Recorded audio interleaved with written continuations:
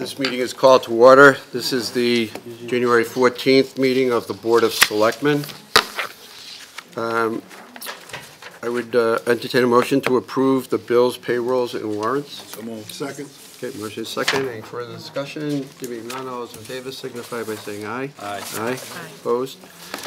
Um, Item two is to approve the minutes of January 7th, but they're not ready, so we'll hold that off till um, next meeting. Uh, Are there any announcements this evening? I think there were a couple, right? A Few. I didn't write those down. Okay. uh, Let's see, the first one is a notice to the people in the area of uh, uh, Prospect, oh, actually, wait a minute. wait a minute. Monadnock Drive, Maple Ave, Rosendale, Main Street, 140 from Main Street to Melody Lane. Um, There's several areas in town, you can check it on the website, um, where our contractor is going to be exercising valves and doing some highway flush, um, hydrant flushing um, over the next couple of days, weather permitting. So the possibility, because they're doing that, you might get some brown water, but um, if you run your tap for a few minutes, it should clear out. Um, It's a necessary part of the process to get all the uh, manganese out of the, out of the pipes. Um, This week uh, is the second, I believe, in the last week for Christmas trees, right? Um, To pick up your Christmas trees, so um, get them out at the curb, and they'll be picked up if you put them out this week.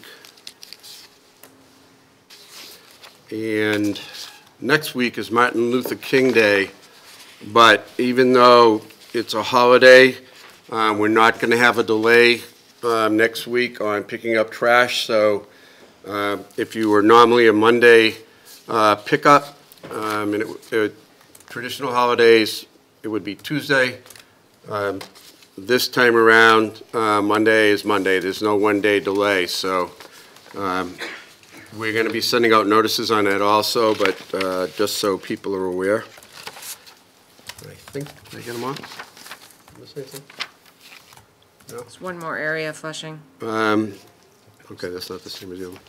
one. Um, There's also going to be flushing going on, and actually, I believe it, no, that's, yeah, that's tomorrow and Thursday. Um, Hill Street, uh, the Planets, uh, part of Prospect Street, Redcoat Circle, Aiden, Brochane Circle, Merriam Ave, that whole area up there, Prospect between Prospect Street and um, Route 140 will also be having hydrant flushing tomorrow.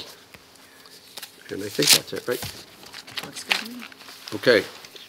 Um, Mr. Manager, do you have anything to report this evening? I do have a couple things. Um, I wanted to let everyone know and encourage everyone to take the opportunity to welcome our new Council on Aging Director, Holly Luke, who started um, a week ago Monday and um, is up and, up and running um, over at the COA. So if you have the opportunity to stop in and say hi to her, please do so.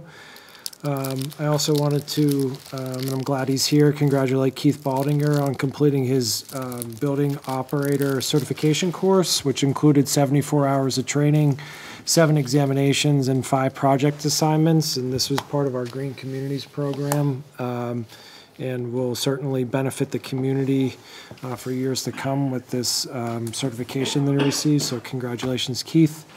Um, I wanted to advise the board um, that I have submitted an offer that's been accepted and signed a purchase and sales agreement, uh, which will be contingent on town meeting approval for 268 North Quinsigamond Avenue. Uh, This is a piece of property that we saw strategically as it aligns um, with other town-owned land in the vicinity of our drinking water wells. Um, So we will seek town meeting approval using uh, water funding to acquire this uh, piece, hopefully, then close on it in the spring.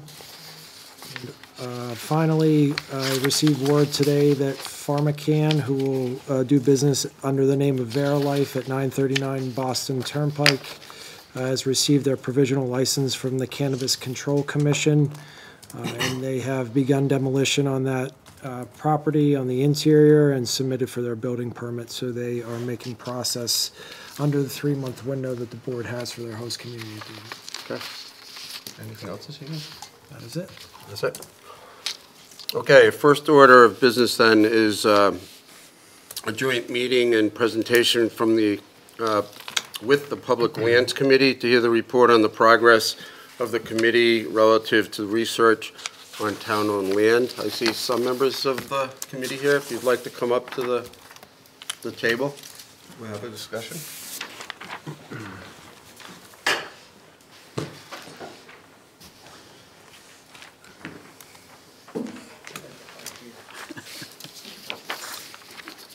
I'm gonna, I'm gonna try doing this from here. Um, I thought I was, we were gonna be running the, uh, the laptop, but we're not. Um, So anyways, as, uh, to, to start, let me first introduce, um, uh, the members of the committee who are here, Martha Gausch from the Conservation Commission, Keith Baldinger, which was, you were resident at, at resident at large, even though you subsequently became a town employee. And Christopher Kirk, who is um, representing uh, Friends of Prospect Park. Um, As the board uh, knows, uh, back in August of 2018, uh, we created the Public Lands Committee to basically research um, the town properties um, for any limitations on any of the town properties, um, because we ran into an issue in uh, the building committee started looking for a site for the Beal School, and thought they might have had a site, and found out that it was under chapter 97?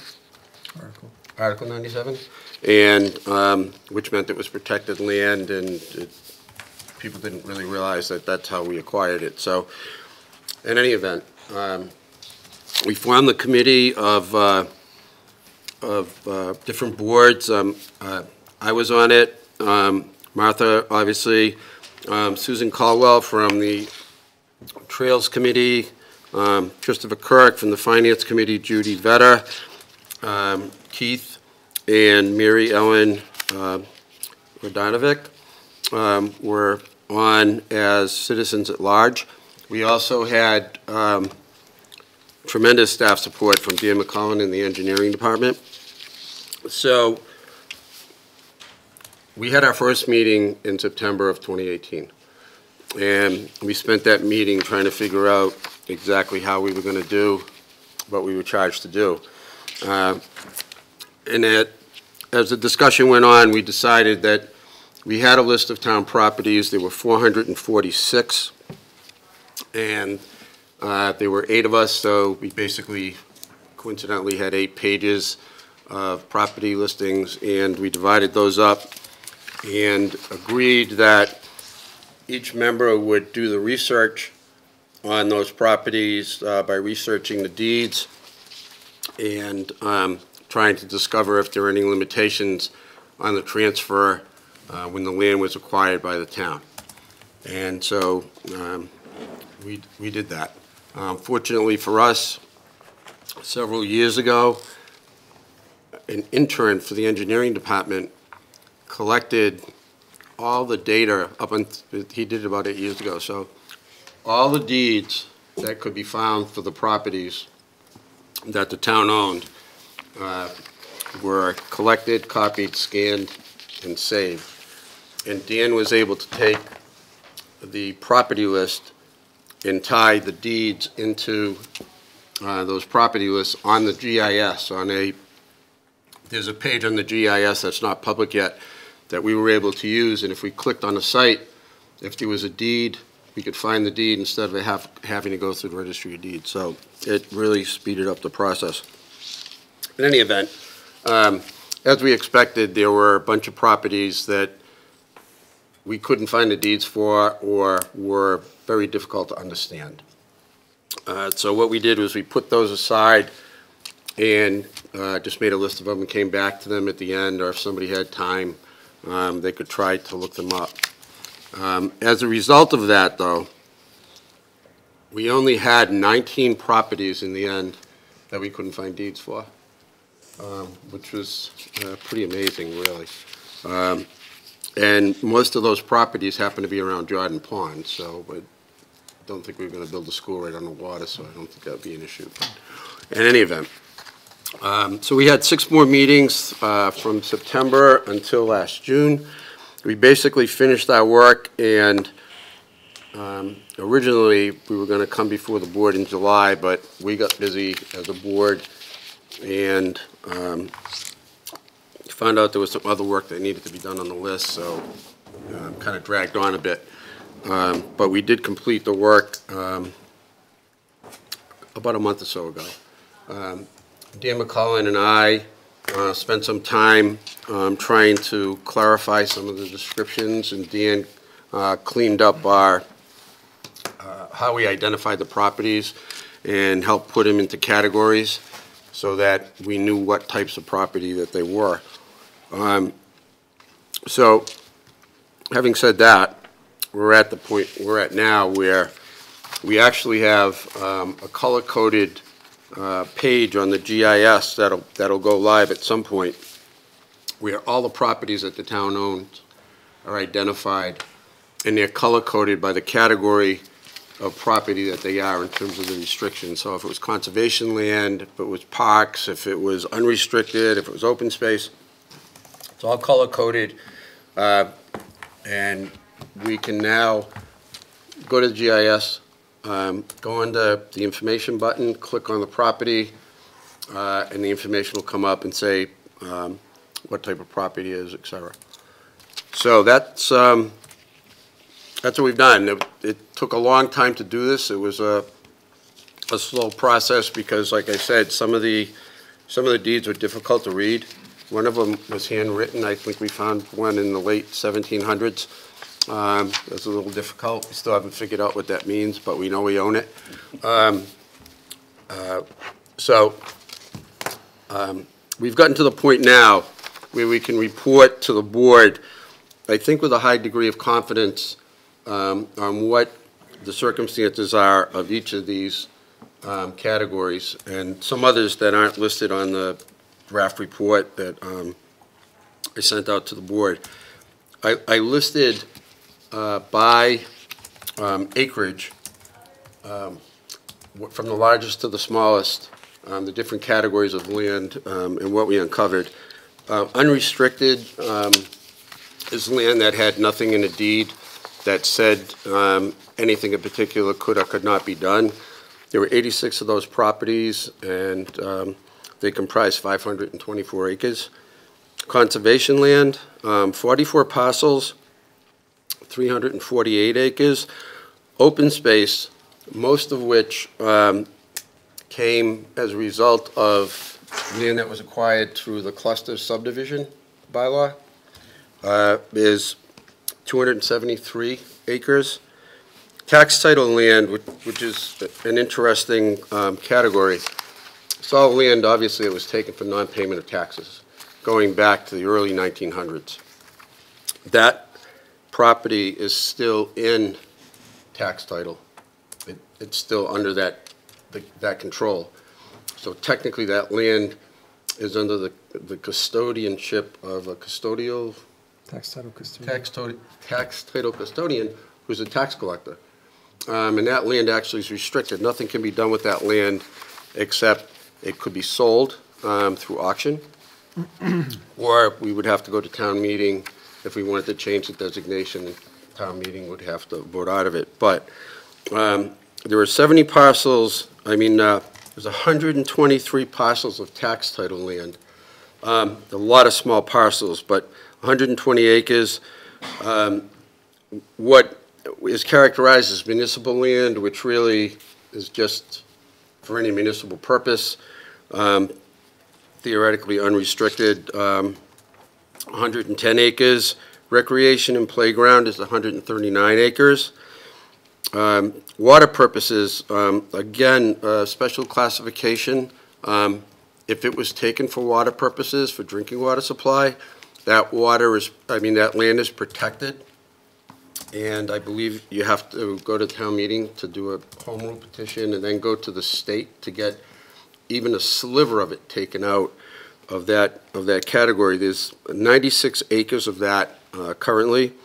Um, Land for school purposes is 64 acres, but that does not include um, the high school property, because that deed, um, we- well, we can't find it, but it's not clear if it was taken for school purposes or it was taken for um, just municipal purposes. Not that it makes that much difference, because the school is on the property, but uh, we were going by what the deed said, um, not what may have happened later, because we'd have to go into every town meeting from when that land was acquired, um, all the lands were acquired, to see if anything had changed. Um, And then finally, um, cemetery, we have 42 acres, six parcels, and we've got those 19 parcels um, that are further review. Essentially, it's about 30 acres or so, but it's listed as 225 because um, we need to clarify the high school, um, high school property. And then there's 38 miscellaneous properties, um, 198 acres, and one of those pieces of property is Prospect Park, because it's not 100% clear what the status of that land is. Um, It wasn't taken for playground purposes, but I believe town meeting voted to take it for playground purposes, so somebody who's got a lot more expertise than, than we do is gonna have to decipher that.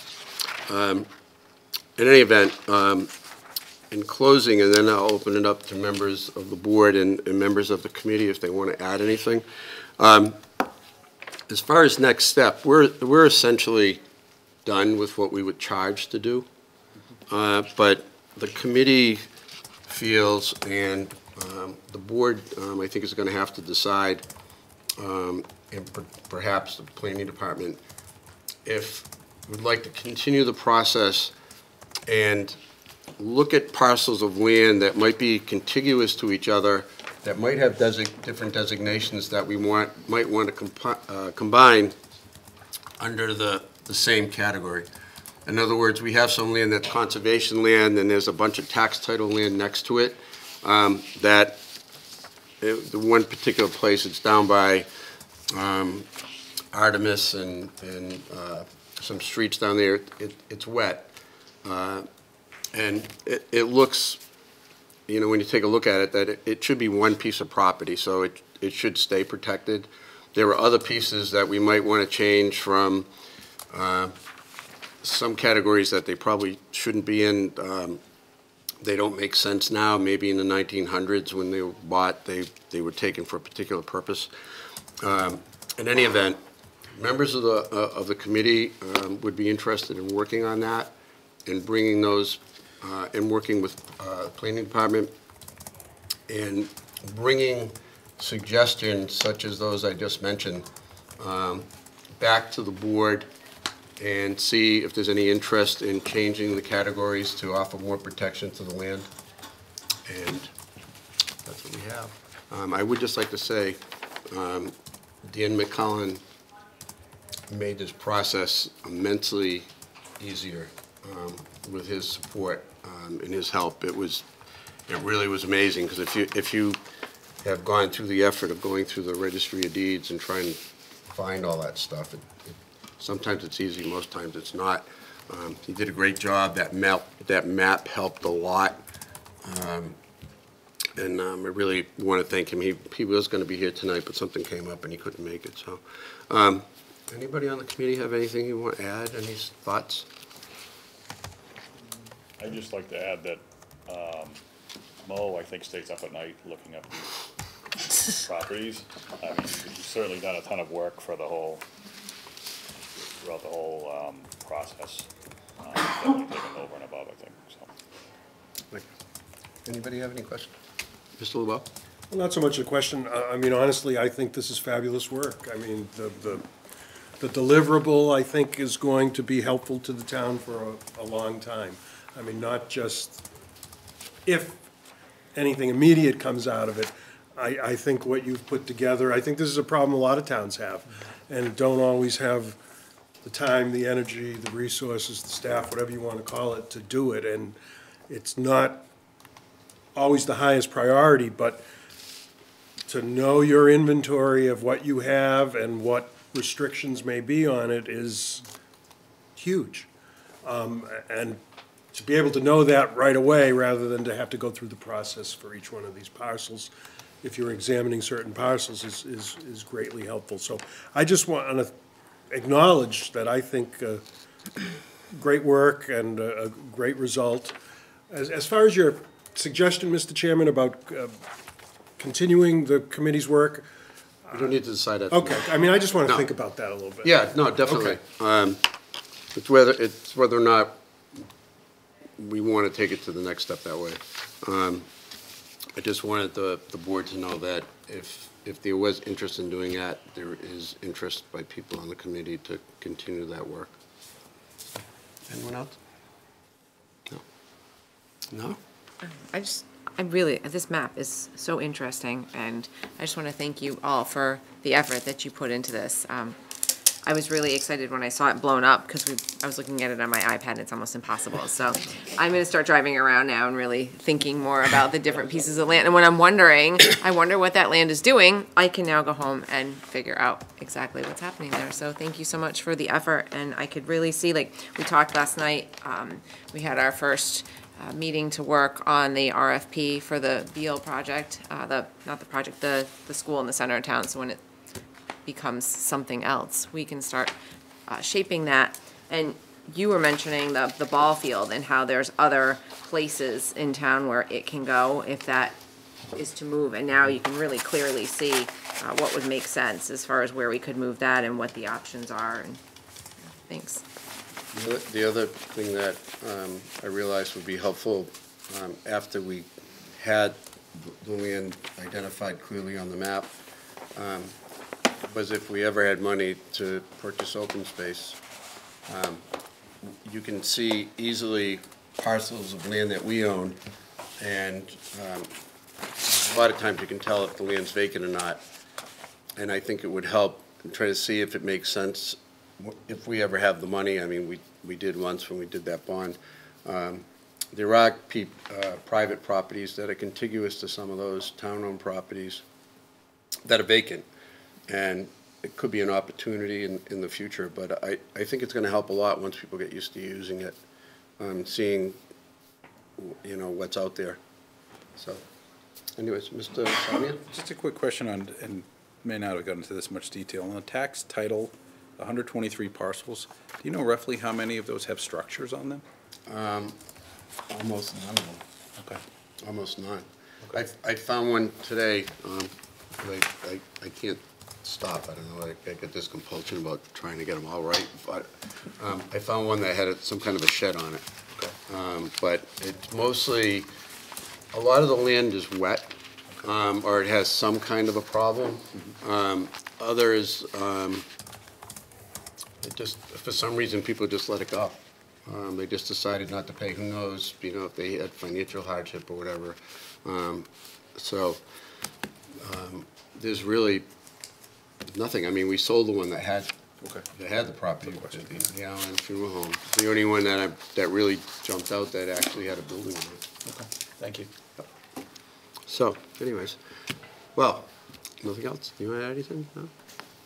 I'd just like to say that, um, that I, I agree, and I'm glad that you find the map so valuable, and I'm glad you find the work valuable, valuable, because I think it allows us to be strategic about future planning as we, as we go forward, and we're thinking about open space, and we're thinking about community character. Um, we, we now have a tool. And Beth, as much as you like that map in its static form, wait until you can click on things. That- I was trying that on my iPad, it did not work. No. So I'm looking forward to being able to do that. So when I click on it, what will it, what will it bring up? It'll, it'll bring up a map, like, it'll bring up a map like that, and the way it works now, if you're familiar with it, on the, on the left-hand side, there's different categories of things that you can do, like, you could, put the zoning map, you could do this, do that. Um, there's also a section that lists every one of those categories, and you can just click on one category, you can click on two, you can click on all, um, so you can see how the parcels go together. Um, we just um, Dean's gonna do some work to clean it up, and I think through engineering, they're gonna have to decide when they wanna release it, but, um, there's, there's, there's nothing secretive about it, so it should, it should be soon, but. That's great. Um, And it, it is relatively easy to correct things if we find something that might be classified wrong, but um, just the way those leg, what's on the legend on the side there, Right, um, you could click on any one of those on that GIS screen, and it will call up those categories. It will Call up all of them, one, three, whatever. so it filters them, It basically. filters, yeah. Um, It, it, it really is, uh, it's interesting when you, when you start looking into it, but anyways, um, okay, well, I really want to thank, uh, um, the other members of the committee because, um, this really was tedious work. Um, we had a couple people, I'm not, I'm not sure in the beginning what they thought we were gonna do, um, but, um, it was all research. And, um, it took some staying with it sometimes to, to try to get it right, and, um, it's been, well, it's really been about a year because we finished up for the most part in June, but, um, uh, it was a long process and, um, we all stuck with it, so I wanna thank you for your help. And hopefully we'll get to do something with it in the future. Thank you very much.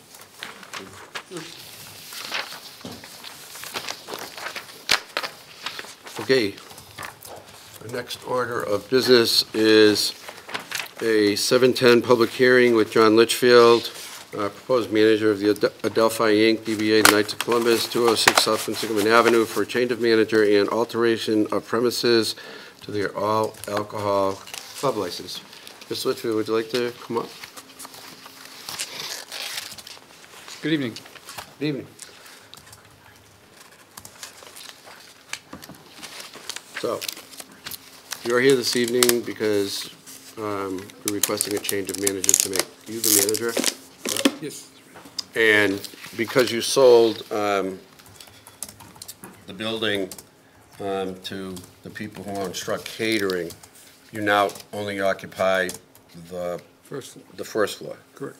And so it's just, it's paperwork that has to be done for the ABCC that you're not going to have two bars anymore, you have one. Correct. Is there a- anything else that's changing besides that? The only, no, that's the only thing that changes. We sold the property in the building. We have a long-term lease, which we documented and submitted. So we're just staying downstairs, in what formerly was called the members' quarters, and that's where we meet now, It's just for our own use. So the idea was just to split it because we have both floors on the license, and it's just the first floor now for us. Right. Okay. Any questions from members of the board? Okay, this is a public hearing. Is there anybody who'd like to be heard on this matter? Okay, there being none, what's the pleasure of the board? Move we close the hearing. Second, Okay, we have a motion and a second. All those in favor signify by saying aye. Aye. Aye. Aye, opposed? So- Thank you very much. Well, wait a minute. oh, hold on. That was, that was the part to close the hearing. Okay. Now we have to decide if we want to let you do it. Um, So anyways, um, what's the pleasure of the board?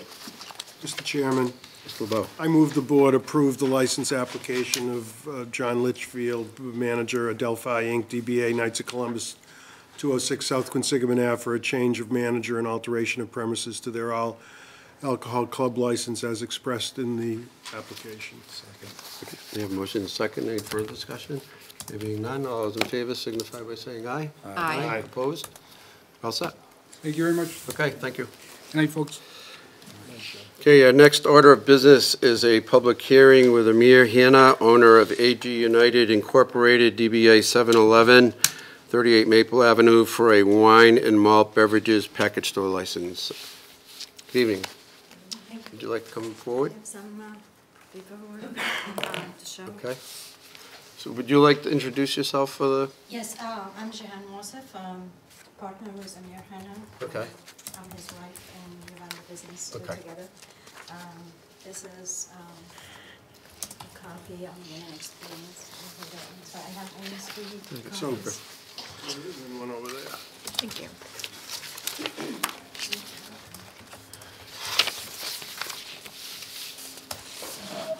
okay. And your Yes.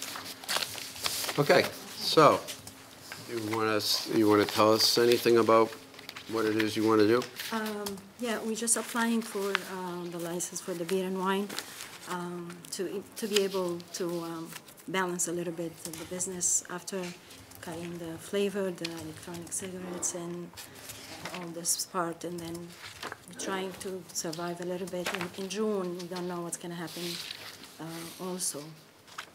And, uh, we did, we did, um, take the opinion of, uh, some of the customers, and you have the paperwork that the customers sign, um, to, um, agree that you can, uh, to help us, uh. Right, this is, a- this is a list of people in support. Yes. And then uh, the two pages um, show that we, um, we've been in this location for 12 years. We never had any violation whatsoever under anything for cigarettes, for uh, minor or lottery or anything. And even from the 7-Eleven itself, they have uh, on the system, we cannot sell anything. The message come on the screen, and I took a picture of it and I added. For the lottery, it has to be 18 years old, and for the cigarettes, it has to be 21 years old, and um, otherwise, we cannot sell. These are the examples of, the 7-Eleven is keeping track of what we are doing, so they send a secret shopper to the stores to make sure that we are not selling anything uh, for minor or anything. And we also, we all the time get green card, we never get any red card.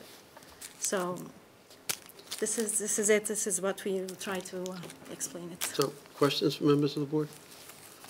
Mr. Samia? Where would the beer and wine, where would it be in the store? Where are you thinking?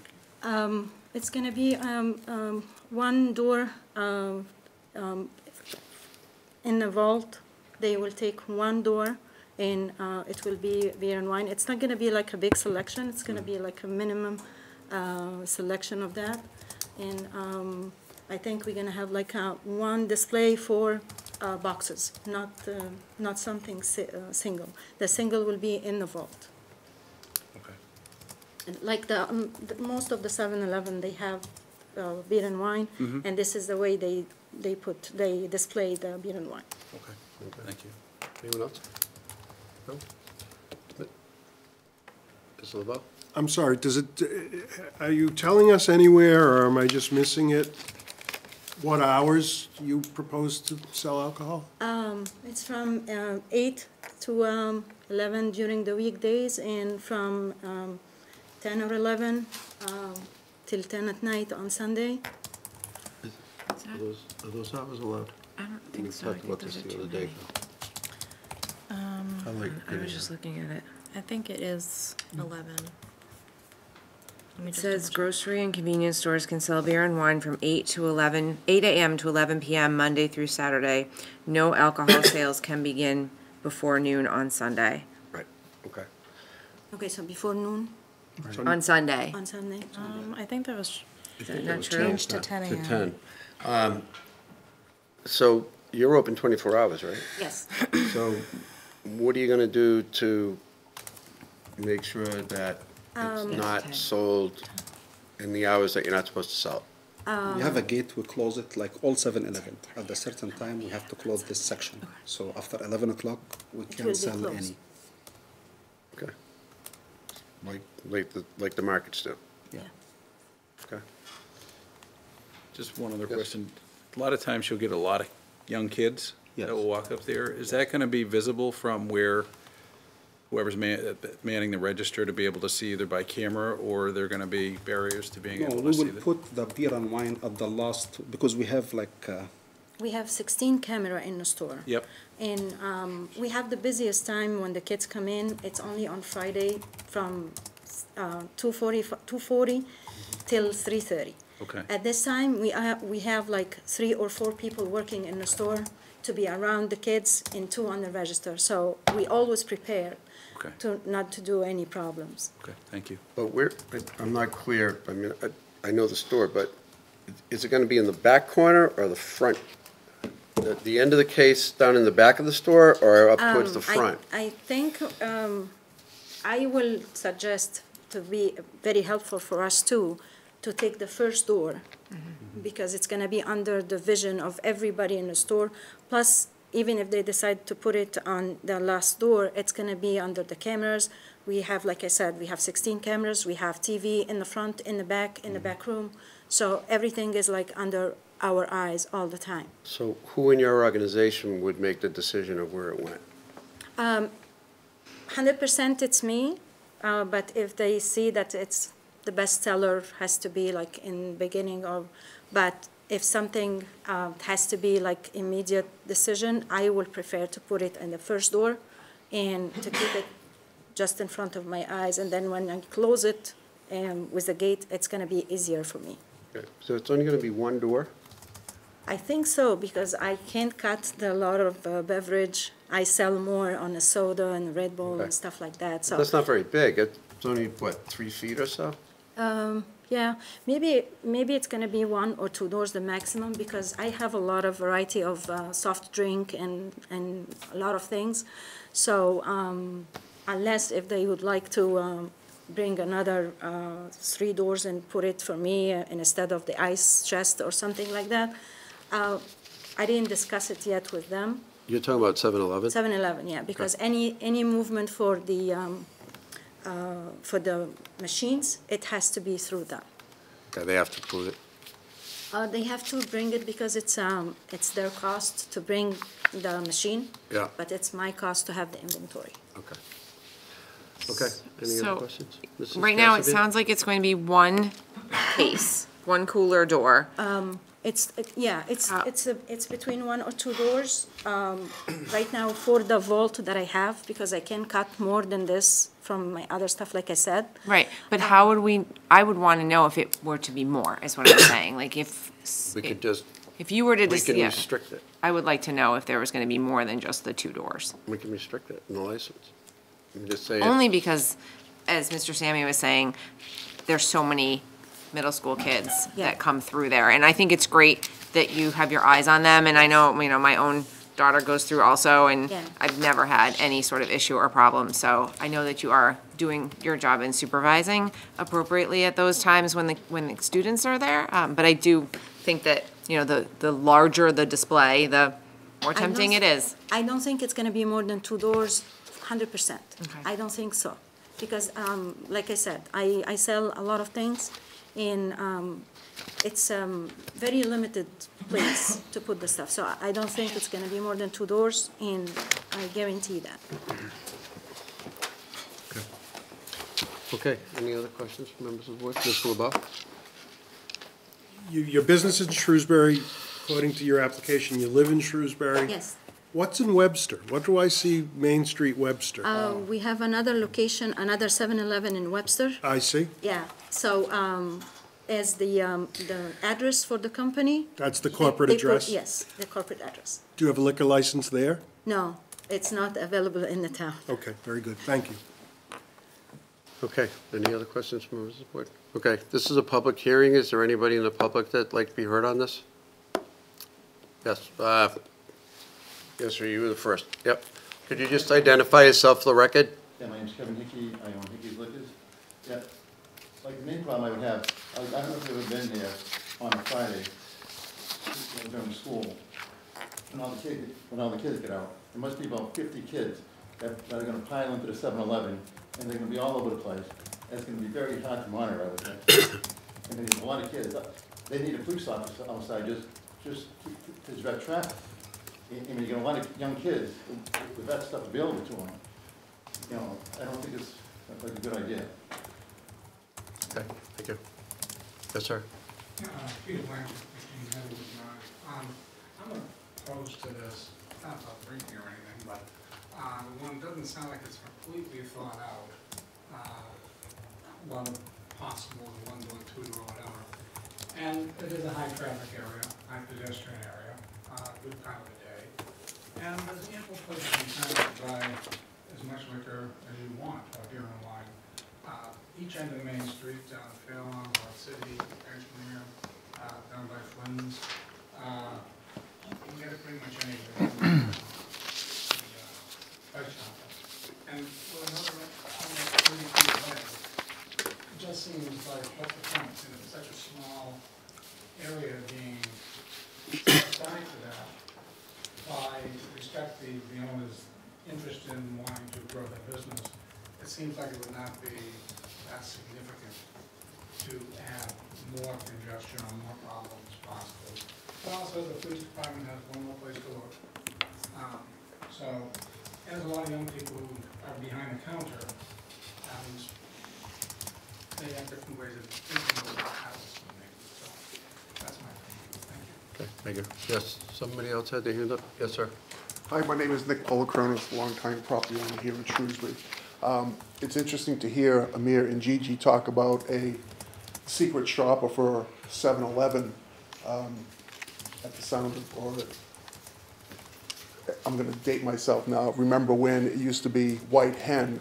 My cousin used to be an area manager, and he would always ask me, how's, how are things going at the store? I would be there all the time, and I have to tell you that every time I was there, the store was always clean, well cared for. And then when it came under the uh, brand of 7-Eleven, same story, always well cared for. People going in there, it was almost like family. So to help augment their business, which is kind of teetering now, to allow them to have a beer and uh, wine license or beer and malt liquor license, I think it would be very helpful. And I would ask for your consideration and your approval on their behalf. Okay, thank you. Yes, sir. Thank you. Uh, Good evening, everybody. Excuse me for my voice. I've been sick lately, but uh, when I heard about this hearing. Can- Excuse me, can you just identify yourself for the record? Nick Bushati, resident of Shrewsbury. Okay. Uh, So uh, I heard about this hearing today, and I gladly want to cast my vote towards uh, approval of Mr. Hanna. Um, Everybody has an opinion about liquor, you know, kids. I myself, have a six-year-old that actually drags me there to buy him Slurpee, and he knows exactly where everything is. Uh, But I can attest to Mr. Hanna's uh, due diligence around young age, uh, because I've worked for him, uh, you know, part-time, and I can tell that uh, both him and uh, Mrs. Hanna do a great job, you know, following up with, with young age and issues like that. Thank you. Okay, thank you. Anyone else? Yes, sir. My name is Gene Budnagan. I own the property adjacent to the 7-Eleven, which is the Dunkin' Donuts. I'm strictly against having a liquor license issue where you've got a full-service package store right next door. I don't think there's any need of it. The other thing I think that will happen, if you issue one to the 7-Eleven, the Mobil will be next, Shell will be next. And I don't think that's what we're trying to do in the summer. I think we're looking at the center of Shrewsbury, a lot of changes coming up in the very near future. I don't think we need all these additional beer and wine licenses. Okay, thank you. Anyone else? Okay. Anybody else on the board have any other, Mr. LeBlanc? I have a question actually for Ms. Clemming. Wh- wh- What do we have for licenses? Would you know off the top of your head an inventory of unused licenses? Uh, for beer and wine, I believe we have seven left. And just, Off the top of my head, I can verify. thank you. Beer and wine package store license. Correct. I have a question, Mr. Chairman. Yes. Um, Are you planning to sell singles in the case? What, are you, six packs? What are we, what are you thinking for inventory? Singles and, and um, six packs in a cooler, and uh, boxes uh, for the display, because I don't want to keep anything open, so it's gonna be boxes on the Boxes floor. of wine? Um, boxes no, of- bo- Boxes of the, the beer. like the Cases of 12 beer? pack. 12 The pack, case, okay. Yeah, the cases. It's gonna be like uh, one display, um, closed boxes. Okay. Anyone else? Yes. Um, Angela Snell, I'm also a resident of Shrewsbury. Um, I just want, now you're talking about a display of beer, so is there two coolers and a display, like a third area? And It's- where would that be in the store? No, it's not, it's not uh, like um, another display, but it's like the, the back stock uh, of what we're supposed to put in the cooler. But it's gonna be boxes um, on, um, on a, in a corner. Um, And it- this is not gonna be like a, a display, but it's the, whatever left from the stock. From the company, I can't order like um, one case. I have to order certain amount. So whatever I can fill in these two doors, and the rest it's gonna be on the shelf. Um, So I have a follow-up question. Um, When the alcohol is not for sale, how do you secure that section then? It was the same way, we can uh, put a cover on it, and we can put like the yellow label on it, that it's not for sale at the time, that we are not supposed to sell anything. Uh, By the way, I have to add something. Uh, I worked in, um, in a convenience store, before I had my own store, I worked uh, for years in a store, in a convenience store in Framingham. We used to sell uh, beer and wine, and every night, on Saturday night, uh, we close all the, all the doors together with one chain. Close everything, and we open it at ten o'clock the next day. So I know exactly how to deal with to secure there is no sale or no, nothing wrong going on, especially with holidays. I get too many attempts for people who comes on Thanksgiving Day asking me, I can get like a bottle of wine, I can pay whatever, and there is no way. So I already went through this before I get my own store. Okay, thank you. Thank you, I hope I answered your question. Did anybody else want to make comment? Yes, sir. Uh, Amr Mohammed. Uh, I also have a 7-Eleven in Worcester. Um, and I also sit on the board of the, we have a 7-Eleven owner franchisee. So I really appreciate all the concerns from everybody, and i- it is a, you know, a concern probably for the business around it. But, you know, everybody was saying the significance of beer and wine license. We find that lately, you know, it's a lot of, it's a challenge for a lot of owners to maintain their business. Since, I mean, as you all know, tobacco and licensing for the cigarettes, it's all gonna go, s- June, menthol, is gonna go from all the convenience stores.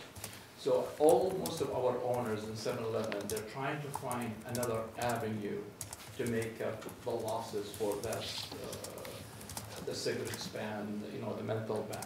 That's, it's, it's imperative for the business to, to make up the, because forty percent, if you lose forty percent of cigarettes, it's really, it's, it's really imperative to keep the business going, you know, by adding. So a lot of owners did that, you know, they went to beer and wine license, trying to add few things to make up for that loss.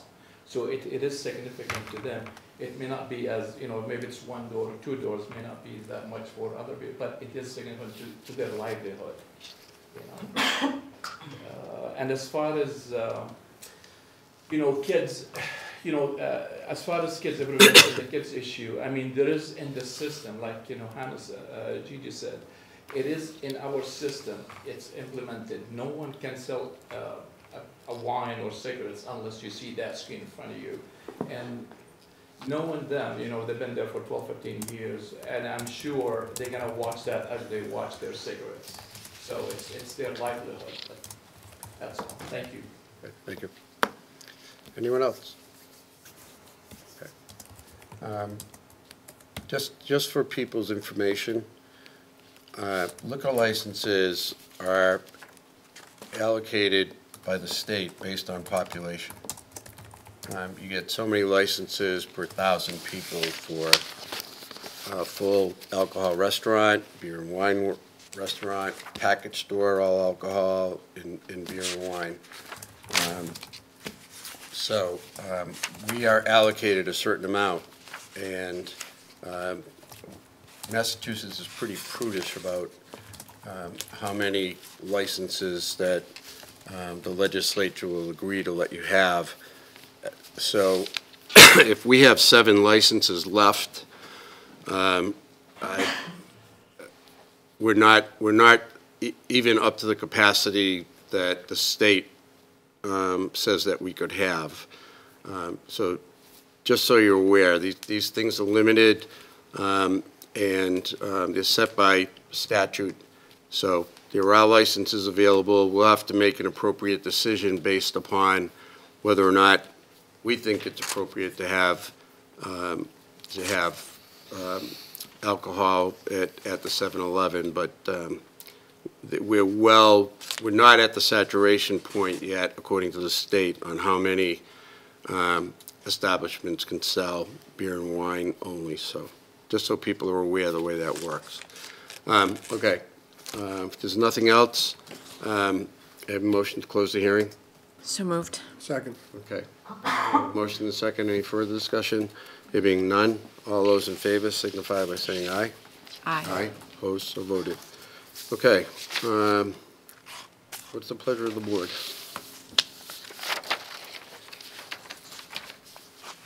Well, uh, if- I'll start. Um, I, I am not one to, uh, there's two ways to look at, at these licenses. Um, One is the, the, the idea that children will be coming into um, the 7-Eleven, um, which they do in every other convenience store and package store. Um, And the other one is um, whether or not you use a license to um, control competition. Um, I am not one to vote to deny a license. If I deny a license, it's not because I'm deny, I, I'm trying to limit competition, if, if that's what I decide to do. I don't think that's the appropriate way to use a license. If they're available, the state says that they're available, um, and that, um, the community can handle, um, that many licenses, then, um, I'm of the personal philosophy that we let the market decide. Um, So um, that's where I'm coming from on it. Um, I think if, if we do decide to grant this license, I think we should, we should specify um, where the stuff is going to be displayed. Um, And I, I think we also have to mandate, and I'm sure that you would do it anyways, I'd be surprised if 7-Eleven said otherwise, that you need to get your people trained and certified so that they're aware of what the laws are and how to handle sales. You, you, I'm willing to be helpful in anything you ask me to do. okay. But you probably did that in Framingham too, right? Yeah. Right. And I went to class. Right, that's what I mean. I went to class. Okay. Yeah, I- I can send all my employee to the class too. Um, Okay, so, I mean, those are my thoughts. Anybody else has any thoughts? I do. Um, Sure. So, uh, I, I understand that they are trying to replace the revenue that will be lost, um, with the new regulations on uh, vaping products and menthol products. So I completely understand the reason why they're looking to add something to bolster up their business. Um, I am a little bit concerned about the proximity, uh, to another package store, so close. Um, And also, I'm wondering if this will start a chain reaction of other convenience stores looking to uh, do the same thing. Um, But it- as you said, and quite well, um, we do have these licenses available, and this is a local business. These are local business owners, and it's important that we maintain our local businesses. I know that we're working very hard to revitalize our town center, and so having more empty storefronts isn't necessarily a good thing for us. Um, And I do feel comfortable that they um, will be taking the necessary steps to ensure that alcohol isn't sold to minors uh, and that it is well secured eh, during the hours and days when it cannot be sold. Um, But I would like to have that restriction that if it becomes more than two uh, of the doors uh, and that display that was mentioned, that, that we need to know about it. So regardless of what we decide or what I decide or how I vote, that's very important to me. Okay, thank you. Anyone else? Yes, no? Can I just ask one more clarifying question? Just real quickly, there are no addition, uh, if a license were granted, are there any additional consents required from 7-Eleven, or that, there's nothing required from a corporate end? No. Okay. So I'll be able to um, follow whatever restriction you're gonna ask me to do. Mhm. So I'll be able to follow that uh, without any problem. Slip up? Um, So, I mean, our, our, essentially, our choice is yes or no, or yes with conditions, or no. Um,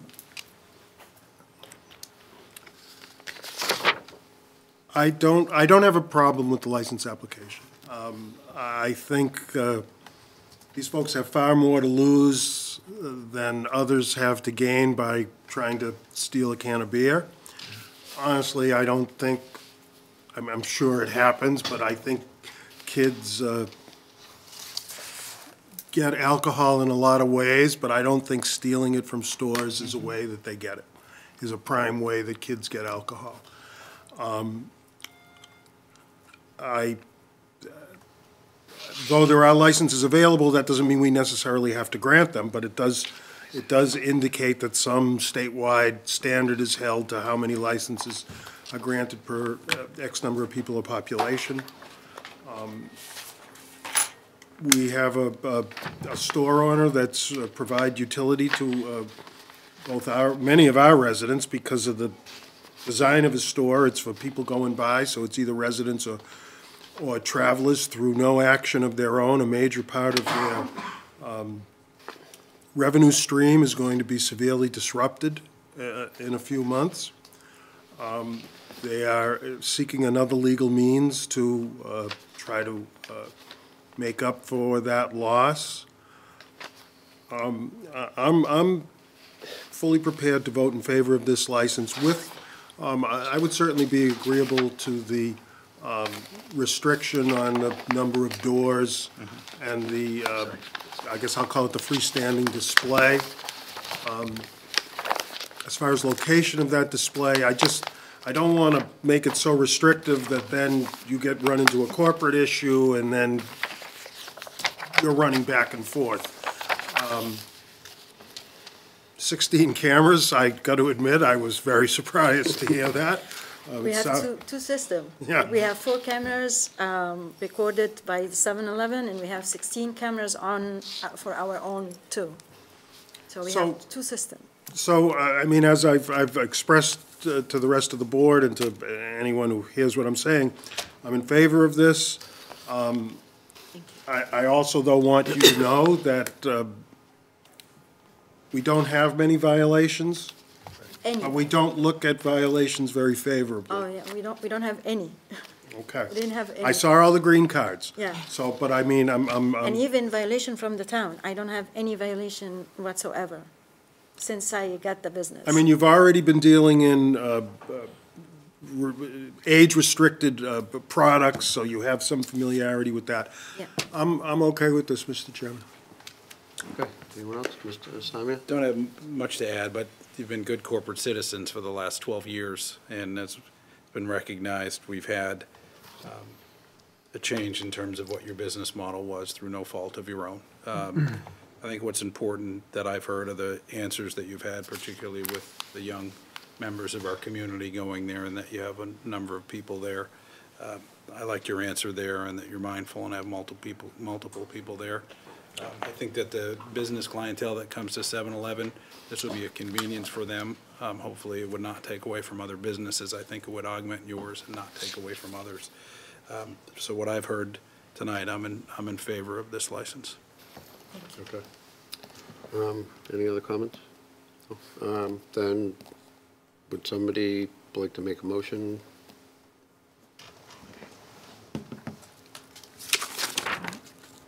Mr. Chairman, Yeah.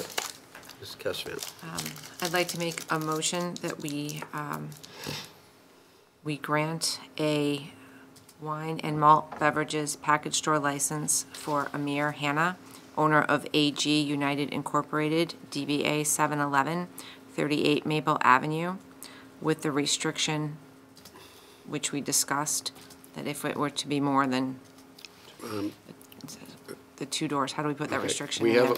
a we have a plan that was submitted. Okay, Um, I think door number 1112 is what, so if it extends beyond door number 11 and 12, and the display, that the board would need to be notified. no, it would be a change of license, it would be a change of premise, so they'd have to come back and change state law. Do we have a copy of that plan? in the- It's Page small, 23. though. Sorry, Page 23. Okay, what about hours of operation? Um, Hours of operation would be Monday through Saturday, 10 a.m. to 11 p.m., and on Sunday, 10 a.m., I think it's 11 p.m. That's the same hours. So It's not from eight? Eight AM, excuse me, eight AM to yeah. eleven PM, I have to go back and look at Yeah. it. Or, um, on Sunday, ten AM to eleven PM, And, um, and no holidays. Uh, no holidays, but the night before the holidays, we uh, are allowed for another half hour, uh, to be like till Yeah. eleven thirty. In accordance with the law. Thank you. Okay, so we got hours. Um, There's no second yet. Um, I would add that um, all the employees need to be tip certified. Okay. Would be my recommendation. Anything else? Did- did Everybody have a chance to see which doors 11 and 12 are? Those are the ones up, up near the front of the store. Right.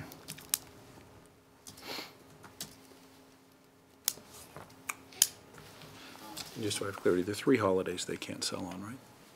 Uh, I don't remember, but it's by Mass law. statute, so Um, Three, okay. There are, but I just don't remember which ones they are. Thanksgiving. Thanksgiving, Christmas, and uh, Easter. Fourth of July, I believe. Fourth of July, I It think is one. might be Easter. Let me check. whatever. Um, Okay, so do you want to restate that motion, so? Sure.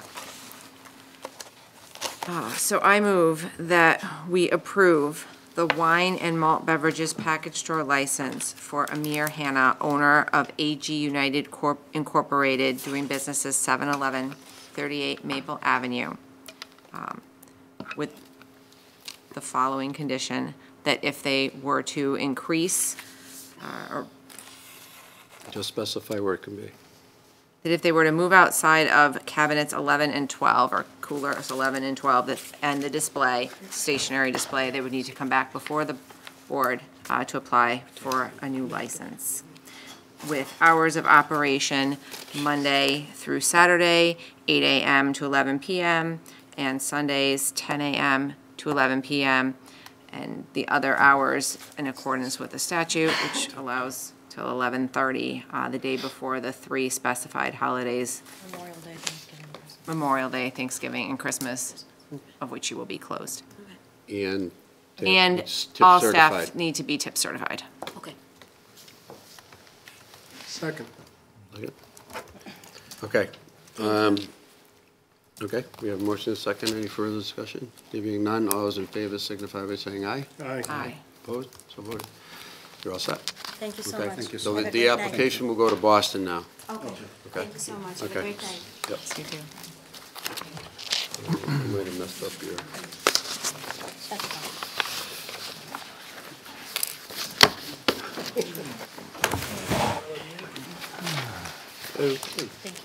All right, so our next order of business is um, a mid-year fiscal update. Um, Mr. Mizikar, are you going to take us through? Yep.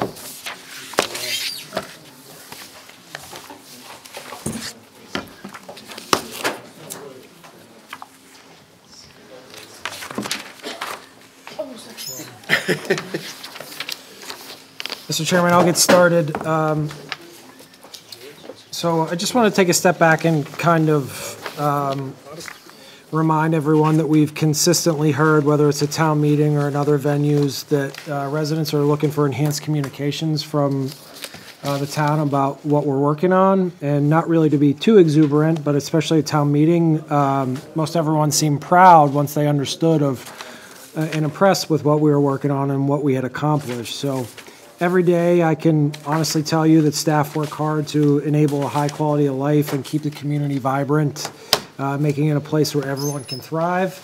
And I, uh, for that, I just have to thank uh, my entire team and, and thank uh, members of the staff that are here this evening. Um, This update contains information from almost every department within uh, the town government. And um, to be quite honest with you, I had trouble paring down the information, especially on the accomplishment side um, and the challenges side, as uh, they see what lies ahead of them. So, um, you know, this is certainly a pared-down version, um, and I can provide the board with any other details outside of this meeting that you're seeking. And I certainly encourage you and ask you to to chime in and ask any questions about any things that we address. Um, Again, so thank you to my team. Uh, I'm certainly proud of everything that we've been able to accomplish, um, and the the way they perform day in and day out. I think what's more impressive is that the standards and quality and the values that they work under.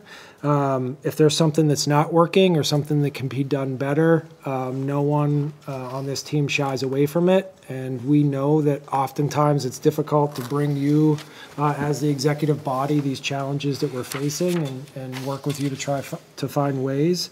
Uh, we won't back down from doing that, um, no matter how challenging that is, because we're all focused on um, providing the highest quality services to the best community uh, in the country and, and perhaps the world. So, so much has really changed over the last two and a half years since I started, and I'm grateful for all that. Uh, we're all focused and believe that we can continue to improve what we're doing and look forward to working with you as the board uh, to make that happen.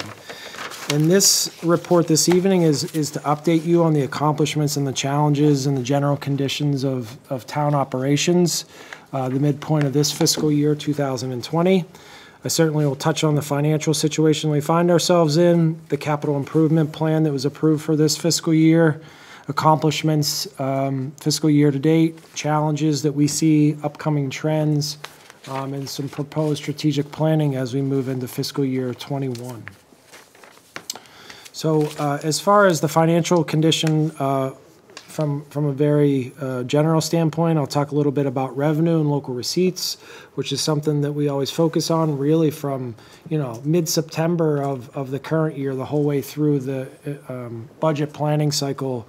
Mr. Snowden puts together the revenue manual, and we spend an awful lot of time on, you know, uh, this uh, aspect of our revenue stream represents 10 or 12 percent, but it's, you know, one that we have the most discretion on and is the most impacted by economic trends.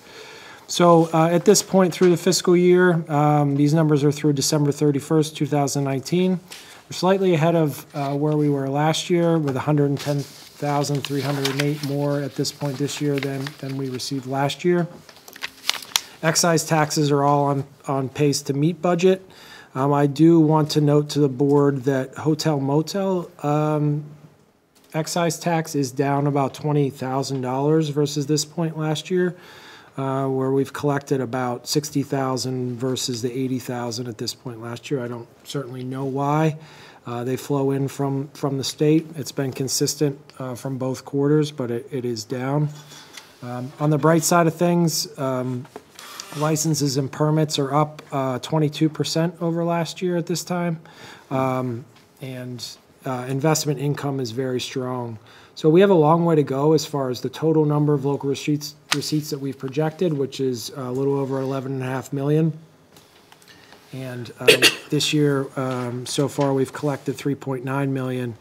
The, as, as you're well aware, the vast majority of local receipts falls into a single category of motor vehicle excise taxes, and our biggest um, billing and assessment of that comes in mid-February. Um, And uh, we've projected a little over 6 million in revenue from that, uh, which makes up, um, you know, the greatest aspect of, of the revenue that's yet to come for this fiscal year.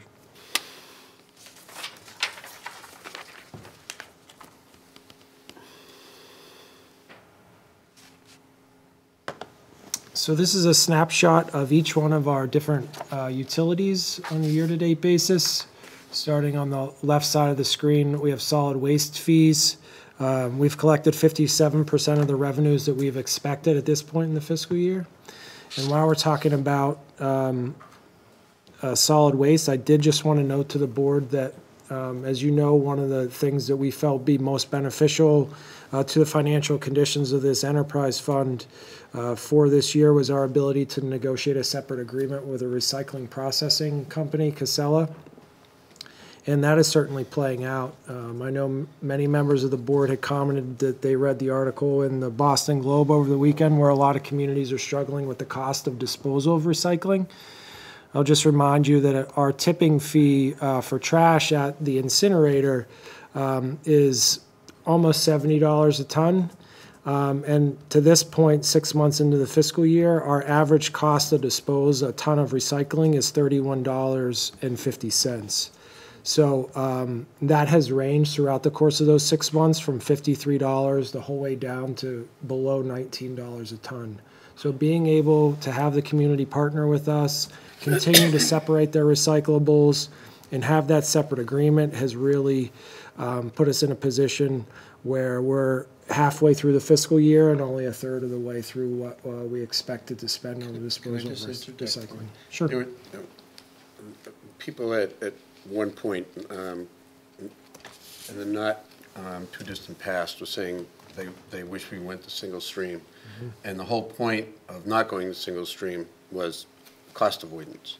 And um, this, it- reading the article in the Globe and seeing what the people who do single stream are up against now at 90, 95 dollars a ton, um, because they have contaminated, they have contaminated recycling. Um, Certainly, that decision to stay with the, with the split stream made a, made a, a big, a big impact, I think. That's right.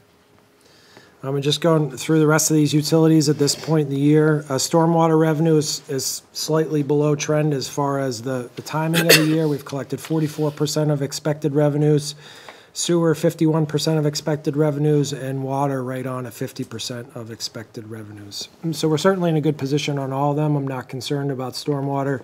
Um, We got off to a little bit of a slow start. It is a new utility. We had some accounts that didn't have water or sewer services, so we had to create new accounts for them. And it's certainly a, um, a gap that we'll be able to uh, bridge throughout the second half of the fiscal year.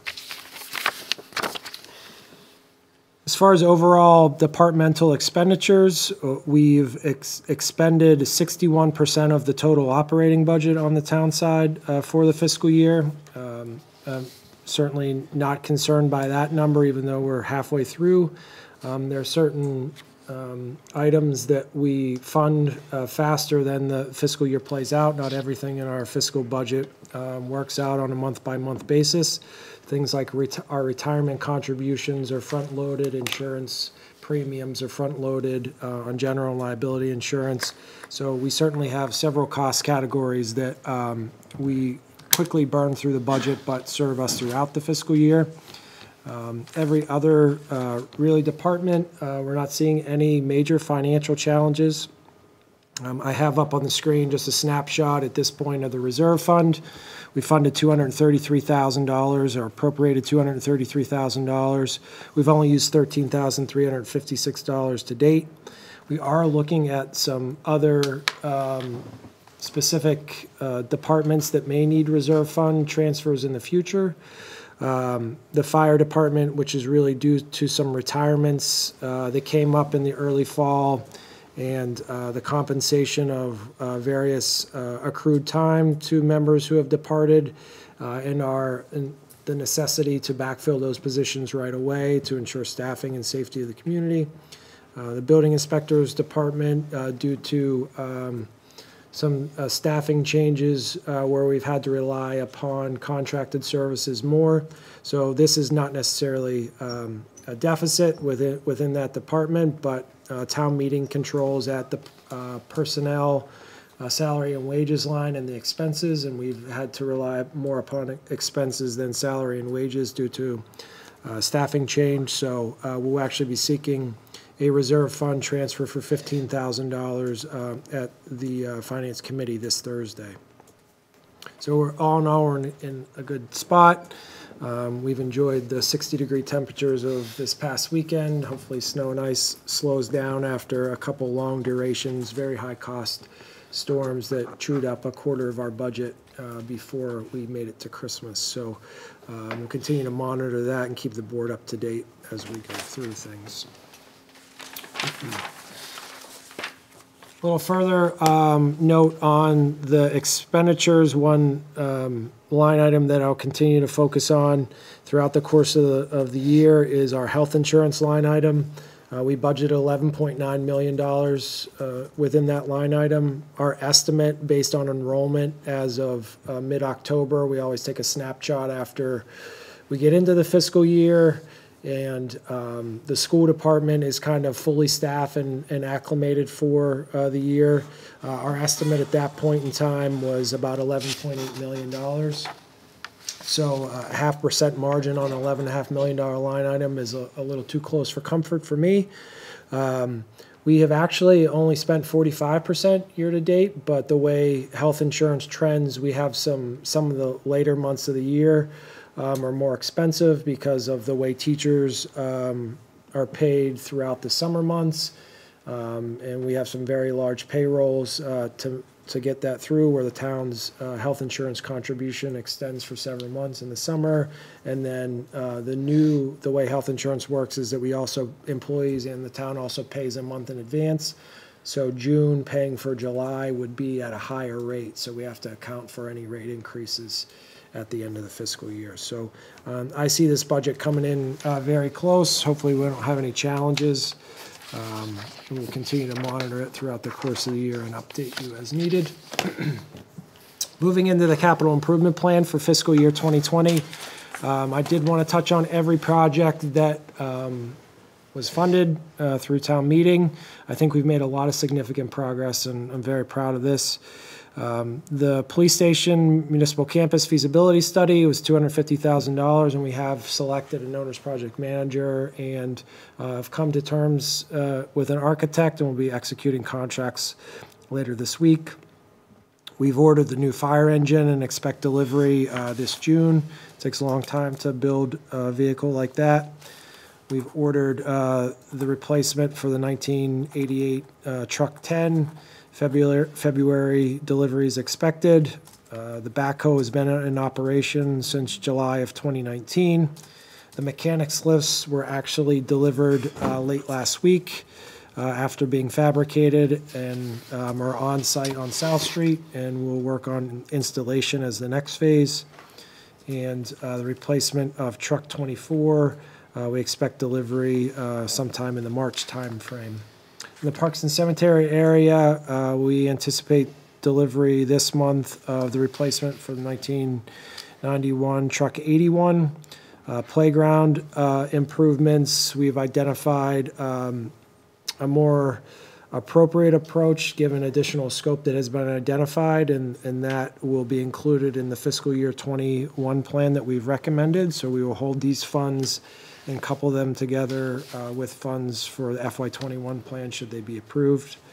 Um, For cemetery expansion planning, the consultant RFP is under development, and we will have consultants in place and begin work uh, later this fiscal year.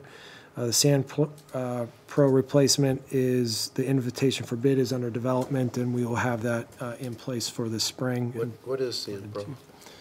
It is a, It's a ball field groomer. Oh, okay. Uh, The four marked uh, police vehicles are all in service. Um, In the public building side, um, the underground storage tanks uh, all have been removed from the schools and various other locations. Um, uh, So that project is completed uh, with the exception of a little bit of monitoring at the high school, um, where there's a a small amount of contamination that has been removed from the site. And we took delivery of uh, the replacement SUV uh, for uh, the maintenance division. Did you sell the 98 as a antique? We are gonna put antique plates on it and gift it, no, I'm just kidding. Um, yeah, yeah, so, uh, we will, um, there's actually a number of vehicles that are up on, uh, public surplus for town auction, uh, as we, uh, improve our fleet, so residents and others are able to bid on those. Quick question. Yep. So as we replace some of these older, significantly, well, I mean, I was 15 in 1988, um, old vehicles, I know they're bigger vehicles, but are, are they, are they more energy efficient when you purchase new ones? Yep. So, yeah, they certain, certainly are. They meet the current emission standards, which some of the other ones didn't have to, given their date of manufacture.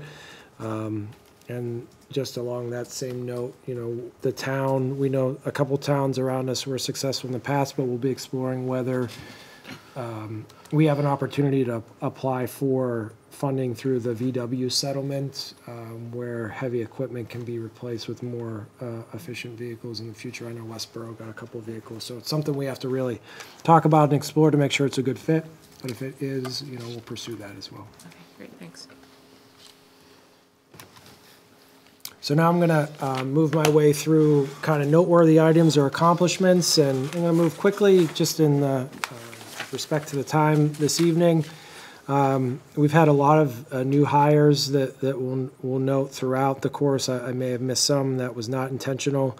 Uh, Within the fire department, we appointed a new deputy chief and implemented the new public eye system, which uh, aids apparatus um, in their response. It's a, it's a GPS-based system uh, that uh, assists, assists dispatch and operators of the apparatus to get to the scene, identify various public safety uh, infrastructure-related items like fire hydrants, et cetera.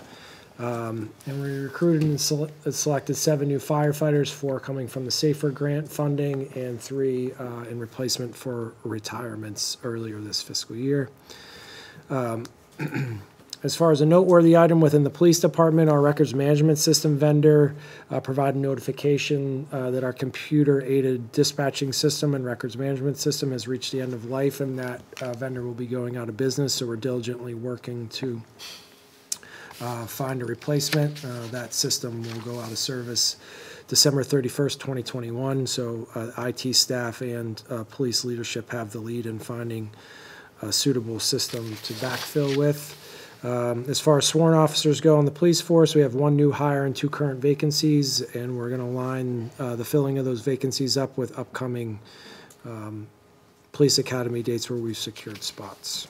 Emergency management, we now have the deputy fire chief serving as the emergency management director, which is a change this year, and I think is a better home. Uh, Deputy Chief Colby has certainly hit the ground running on that and is doing a great job. Uh, Within community development, uh, DPW areas, uh, building department, we've integrated, uh, this is the building inspectors department, we've integrated the electrical inspector into the department, which, which started uh, in fiscal year 19. Planning and economic development has certainly had a successful town center rezoning process. Edgemere Drive-In redevelopment is now the whole way through permitting, which is obviously a significant uh, project within the community and will help the tax base. Can I just interrupt for a second? So they, they get their, they got their, um, they went through their permitting with the planning board. Now they've got to go through the MEPA process? They have, yeah, an E and F to file. Right. So that's gonna be another six months, right? Yeah, I don't, I'm, I'm not sure, but yeah, it'll definitely be several more months. Uh, Within Public Works, uh, Highway, the paving projects, Lake Street, Francis Avenue, South Street, uh, were completed um, as scheduled throughout the course of, of the summer. Fall street sweeping compliance was actually done in-house, collected over 200 tons of material. Uh, We originally went out the bid to try to find a third-party contractor to do that, and We're unsuccessful, given the constraints that come along with our um, NPDES improvement, or our NPDES permit, so thank you to the Highway Department for uh, being able to complete that. We appointed a new superintendent in the Water Sewer Department. Um, Within Water and Sewer, we had successful main replacements on Ireta Road, Lake Street, Shepherd Lane, Main Street. Uh, There's some work that still needs to be completed along Main Street, but uh, the the vast majority of the main, or the, the main itself is completed. Uh, We have service and lateral work to continue doing. Implemented the new unidirectional flushing program, which will continue even tomorrow, despite the fact that it's January. We'll take advantage of the weather when we can. We've moved forward with our hex chrome pilot planning and um, started PFAS uh, pilot planning and um, constructed the new solar array- array at the water treatment plant, uh, which should be commissioned within the next few weeks. We're just working with SELCO to be able to monitor the output of that system so it can be managed properly. Within public facilities, uh, parks, uh, replacement of the Dean Park Bandstand roof, um, and Assabet Valley Tech built sheds for both the, the boat ramp and Spring Street School, which is a huge benefit to the town. I noted the underground storage tank uh, removals within public buildings.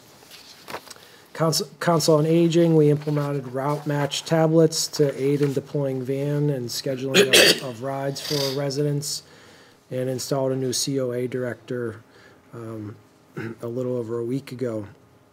Health Department flavored tobacco ban and new regulations related to tobacco, et cetera, and education and notices related to the polystyrene ban that went in the beginning of uh, the calendar year. Within the library department, and we wanted to note youth services, a new youth services assistant position is making tremendous difference with the teen and youth within the community. It provides a steady presence for teens and more teen program opportunities. And within the first four months of the fiscal year, 230 children programs are offered to 788 children, parents, and caregivers, which is, uh, I'm sorry, 7,888 children, parents, and caregivers, which is phenomenal. Um, And one of the, a part of the library strategic plan that they've uh, done well in implementing uh, throughout the course of the fiscal year so far is developing and curating a stronger town information services to kind of be the one-stop shop when residents are looking for whether different services or different types of, of information on where to find things or things to do within the community. Administration and Finance, um, the Assessors Department, you know, managed the, the um, various, you know, the 1,207 changes that are associated with new growth, you know, that led to a new valuation of almost $73 million in, in new value for the tax rate, uh, which drives uh, and results in our new growth number, which is important part of our revenue model. Uh, Within human resources, uh, this one really took me back looking at. Uh, We had 32 recruitments, 24 new hires, nine being full-time, three permanent um, part-time, and 12 temporary part-time positions um, that have been brought on board just since July 1. So a lot of activity there. I'm not sure how we did it without a human resources coordinator position in the past. Classification and comp and study, compensation study and initial implementation um, occurred in October, and additional information is forthcoming before the end of this month about the next steps that we'll take uh, for uh, compensation for employees going into fiscal year '21. Um, Within IT, that should be bumped out. Um, They were successfully completed a phone network switch upgrade for all town and school departments. And just a reminder, we're certainly continue to be proud of all the work that we put in to receive the AAA bond rating, which led to July sale of general obligation bonds, uh, saving the taxpayers almost $4 million for the Beal project alone. And we certified the highest amount of free cash um, in the town's history of $8.6 million this fall from last fiscal year. The Board of Selectmen was very generous as we made it through the final stages of uh, the budget process and augmented uh, the Personnel uh, Board's, or Personnel Department budget um, for additional funding for townwide professional development.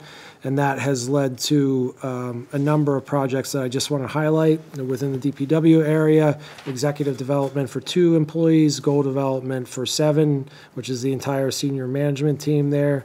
Supervisory leadership development training for, for four members of the management team. um, and sending two employees to um, multi-day customer service training.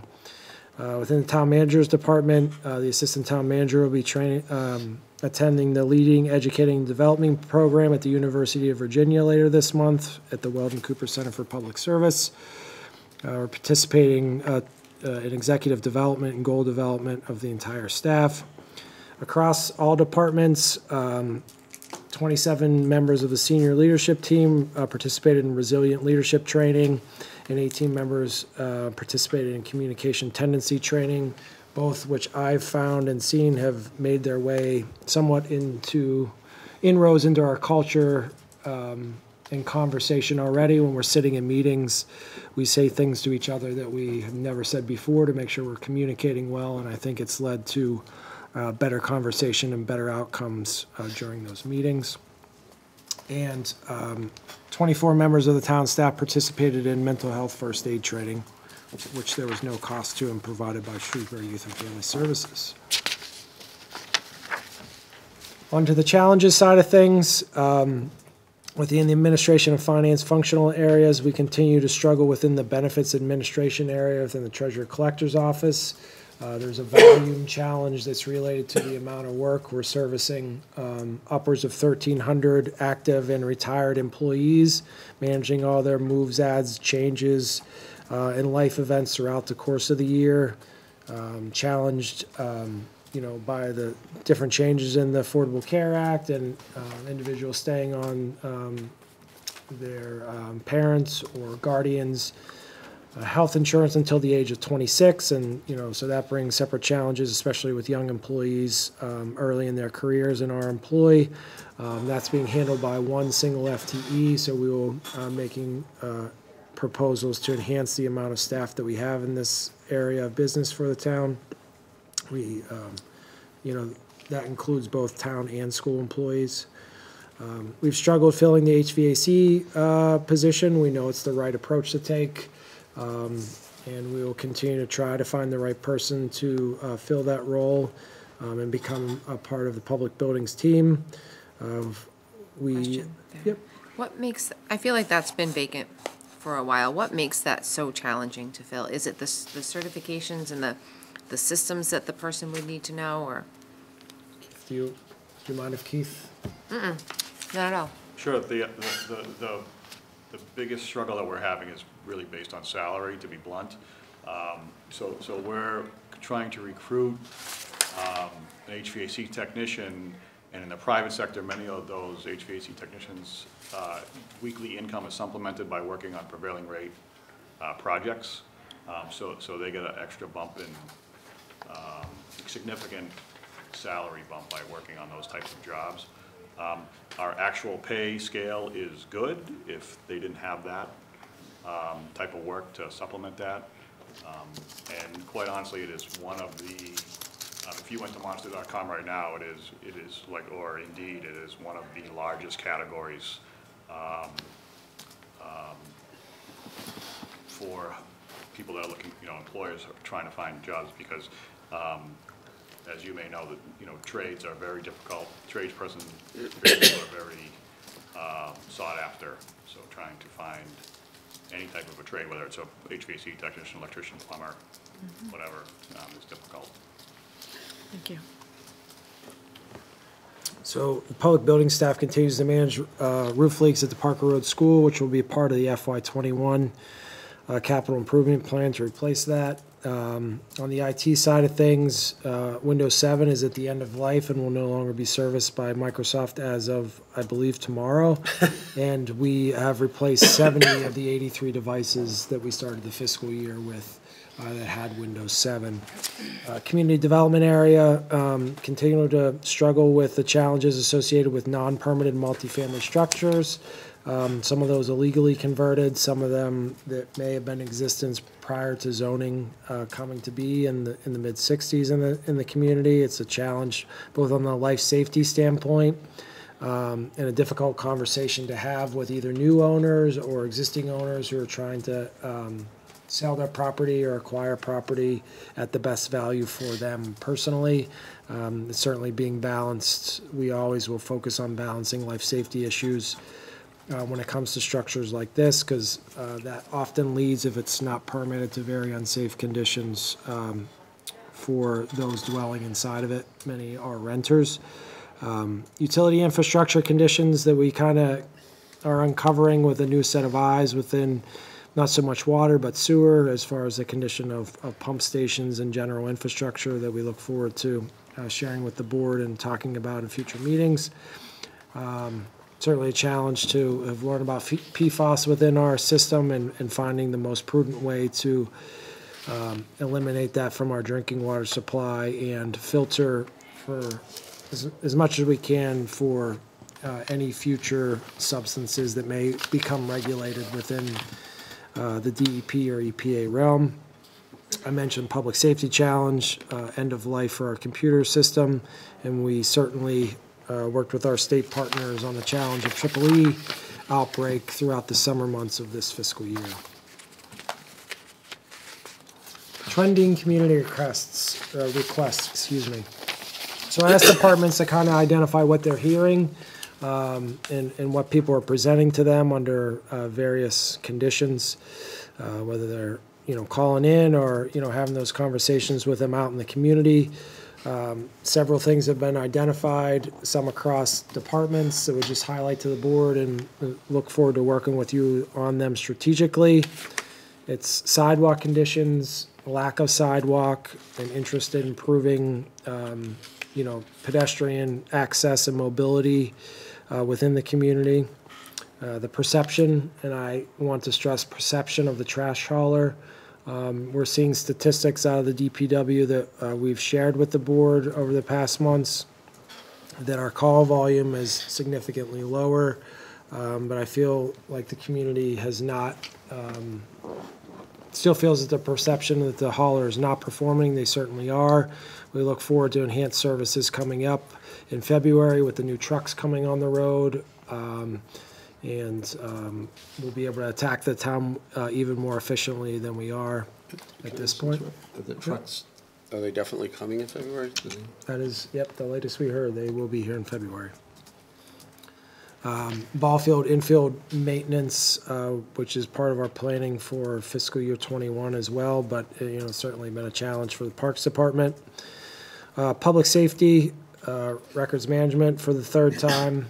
Uh, We, it's such a critical system, it manages um, what officers see when they're going to and arriving on a scene. It's, it's critical information, and then also maintaining the records that are related to any calls that they go on.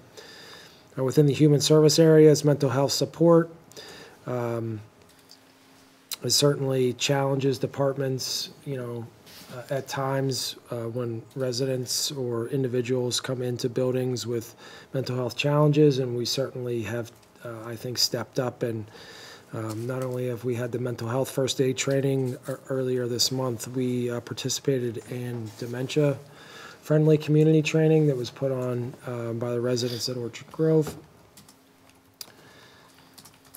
Um, And then just the library identified more hours, more programming and desire for the community uh, for children's IT training of, of the public.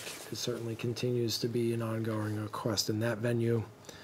Um, And uh, in administration and finance, in-person payment methods, the ability for multiple town departments to take cards and, and individuals to kind of pay in present-day ways um, is something that, that we're hearing that we will certainly need to address to uh, keep up or catch up with the times in the future.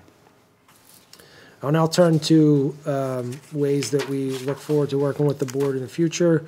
Um, uh, For fiscal year '21, you know, we, we want to focus on developing cascading set of goals based on the board's priorities that will align with the FY '22 budget process and prioritize FY '22 spending based upon that. Implement a performance management system to track those goals and monitor performance of town departments and staff, and better utilize data in all the uh, decision-making processes that we do.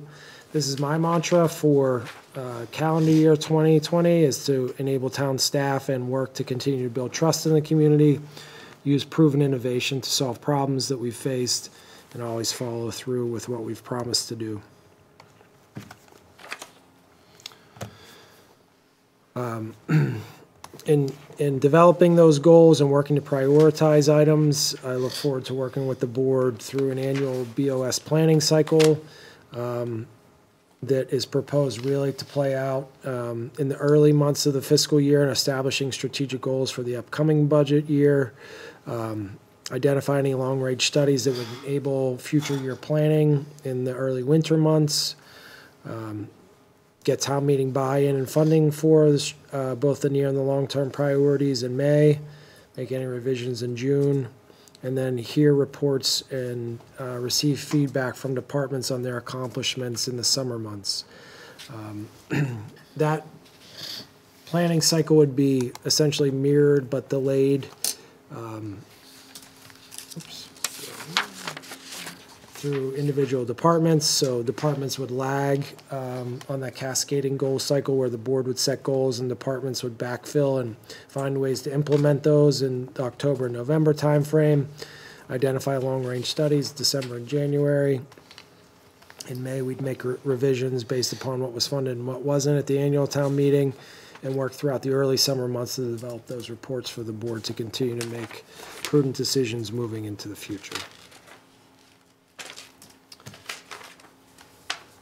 And I also look forward to working with the board more like this uh, in future meetings with enhanced meeting content, providing you with with quarterly updates on that performance management system and goals that have been established, financial updates, making that more part of our, our regular business cycle, regular updates on those long-range studies and plans and, and uh, major projects, so we can communicate both to you and the community better uh, in the coming fiscal year and beyond. So that's really the end of my um, update for this evening.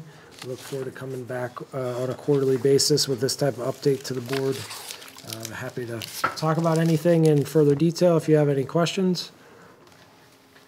Questions, anyone? Excellent report. Thank you. There's a lot of stuff to go through that quick. That was good. Thank you. All right. Um, Just a comment. I really appreciate hearing what the challenges are. Um, It's often difficult to talk about challenges, especially in a setting like this, but I think that if we don't talk about them, then we can never address them. And so just having it laid out this way in the different areas is very helpful. And I also, um, because communicating with residents is very important, I like that there's a section here about what's trending in the community and what people are hearing, um, whether it be just in interactions um, out in the world, or if someone comes into the office or calls town hall, that we are keeping track and we are hearing what people are requesting and we are looking to see um, what, what the patterns are, so that we know um, what we're working on actually mirrors what's important to residents, because sometimes I think there could be a disconnect, even though the things that we do here every day are very important. Sometimes residents have things that are very important to them, and it's good to see that reflected here. Just one, one comment. Oh, I'm sorry. Um, This is a great report, it's a great summary, it's very well condensed, yet full of a lot of facts and information that, that residents can glean quickly. Um, The one thing I'd like to see going forward, together with the annual goals, is the overlay of a strategic plan, so that these, that's the one step I think that we all need to work towards as we get in particularly to the financials, which we'll be talking about shortly for fiscal '21. But I'd like to see that develop too, and over the next few months leading into the next year. And then the goals below that, the strategic goals, will be fed from the plan, whether it's a five or 10-year plan with broader concepts that we've started to talk about, but I'd like to see us move forward on that, particularly as we start talking through '21 and looking beyond.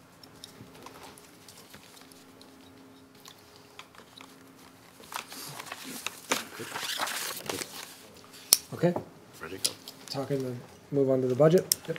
All right. So we can't afford any of it. Um, I'll, I'll start off by saying, you know, we certainly, um, at least from my perspective,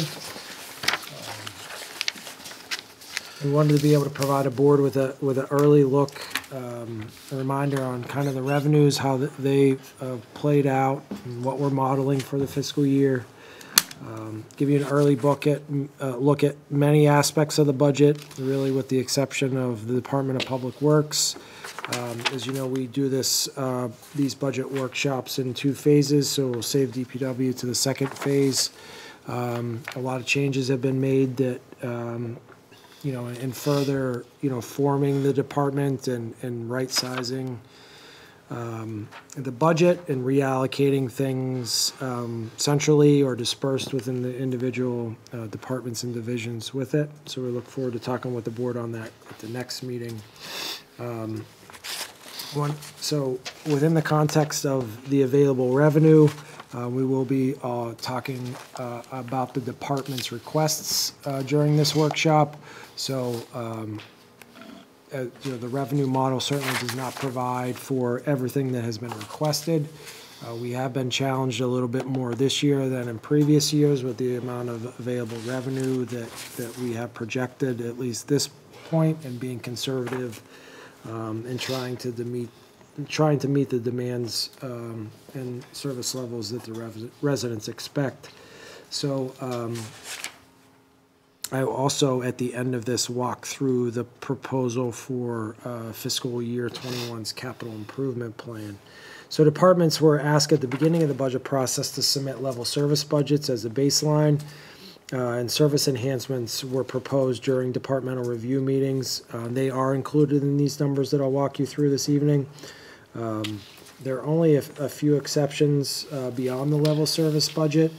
Um, So um, there are no vast new service areas or no significant changes in the footprint of what we do or what we plan to do for fiscal year '21.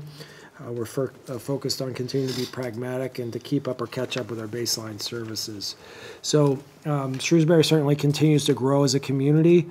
Um, In fiscal year '20, uh, the assessed value increased for the, uh, the assessed value of the community increased five and a half percent. Uh, and that's a total assessed value of three hundred and thirty-six million dollars. Uh, If we were able to apply uh, last year's tax rate to that uh, $336 million in um, increase in the tax base, that would yield $4.2 million in, in new tax revenue alone. Proposition two and a half doesn't allow us to do that, unfortunately. Um, But it just shows, as the community continues to grow, the revenue model that we're allowed to raise under state law does not even allow us to keep up incrementally, which certainly is a challenge this year.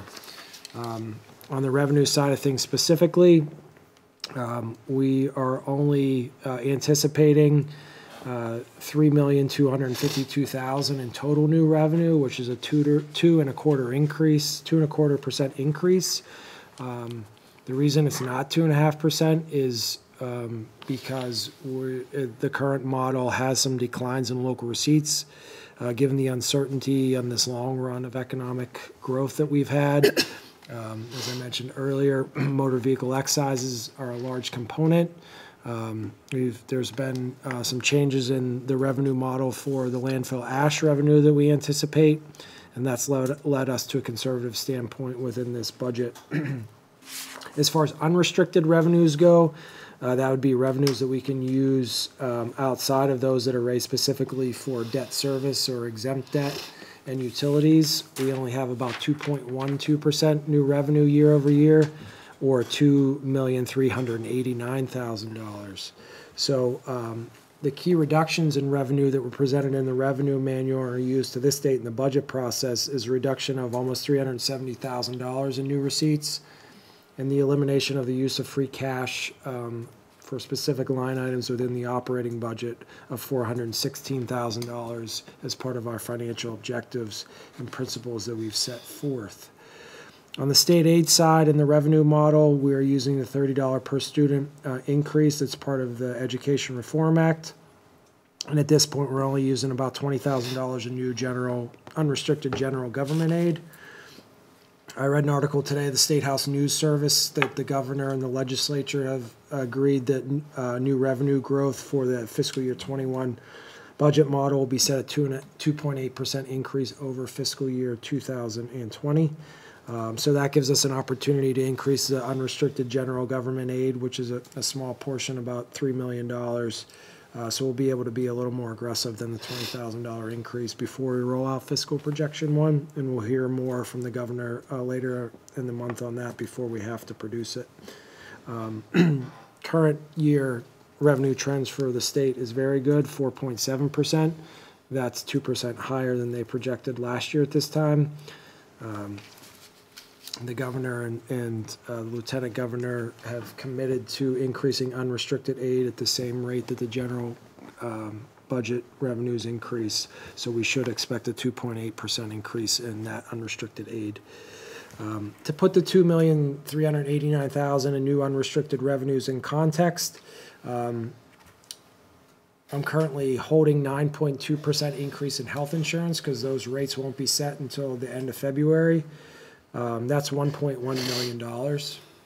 So take our two point three million dollars in new revenue and reduce 1.1 million from it, leaves one point two million dollars in new revenue to spread over a balance of about hundred and ten million dollars in other line items within the budget, or a one point three percent increase.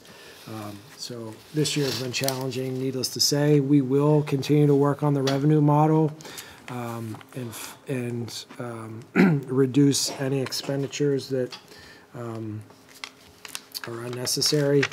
Uh, But we do need to do our best to continue to maintain the services that the uh, community expects from us. This is a total summary of the revenue, uh, projecting one million four, one, hundred forty-seven point seven million dollars to be used uh, in the FY twenty-one budget process.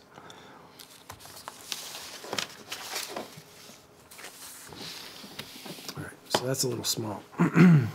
So um, I'll walk the board through um, the functional areas of administration and finance, public safety, retirement, community development, and human services.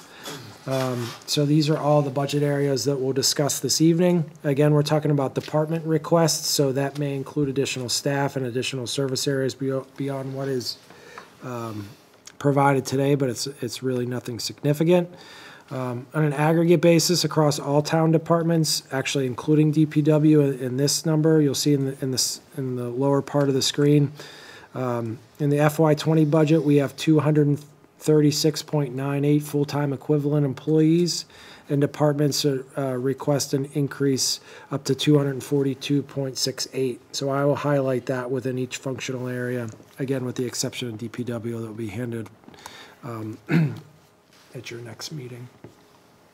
So within administration and finance, which includes, um, of, uh, I think, 12 or 13 different department areas, um, we are seeing an increase uh, from 2 point- 22.4 million to 23.8 million dollars. This would include uh, the most significant increase within the health insurance line item, um, that $1.1 million increase, which hopefully we can lower once rates are actually set and spread it throughout the course of the budget. Um, Within the total personnel that are requested, um, this, this requested funding would uh, increase staffing levels from 47.71 FTE to 50.21 FTE and include an additional part-time benefits coordinator position and two maintenance craftsmen within the public facilities department. Uh, I will remind you, uh, with regards to public facilities, um, we're just shy of a million square feet of space that the Public Facilities Division maintains. Um, That number will grow to over a million with the implementation of the new Beal School. Um, These positions that are requested are um, just to maintain the, the current space and are not related to the Beal project, at least at this point. We do continue to look at the, the models that are used within the Public um, Facilities Division and uh, the uh, use of contracted, how it changed there, the contracted uh, cleaners versus in-house custodial staff. One of those maintenance craftsman positions are for an additional custodian to staff the Parker Road preschool and um, SELCO facilities at the Parker Road School. We currently do not have any custodial staff there, and when there's a, a challenge or an incident at the school, we have to just de- deploy uh, maintenance craftsmen from a, a diff, uh, additional, or from a different location and pull them away from their job. Um, So with, with a partnership through SELCO, we would like to add an additional uh, position uh, within the Parker Road preschool in those areas down there and eliminate the use of contracted cleaning services, uh, which would provide a savings of roughly $10,000 a year.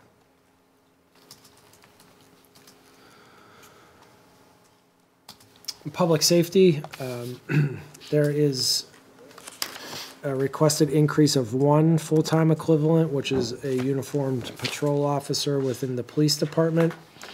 Um, So this is made up by police, fire, and emergency management. There's no uh, dedicated FTE in emergency management. The director receives a stipend. Um, This is our um, largest, one of our largest areas of growth within um, the department budget requests.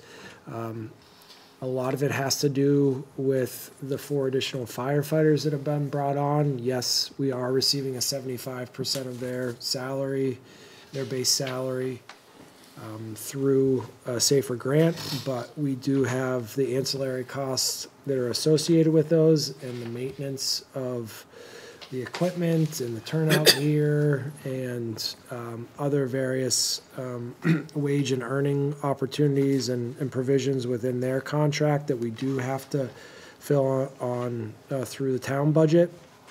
So, um, you know, we're experiencing about a, a ten percent increase uh, within the fire department budget from the department request at this time. So um, we'll continue to monitor that and fund what we're able to.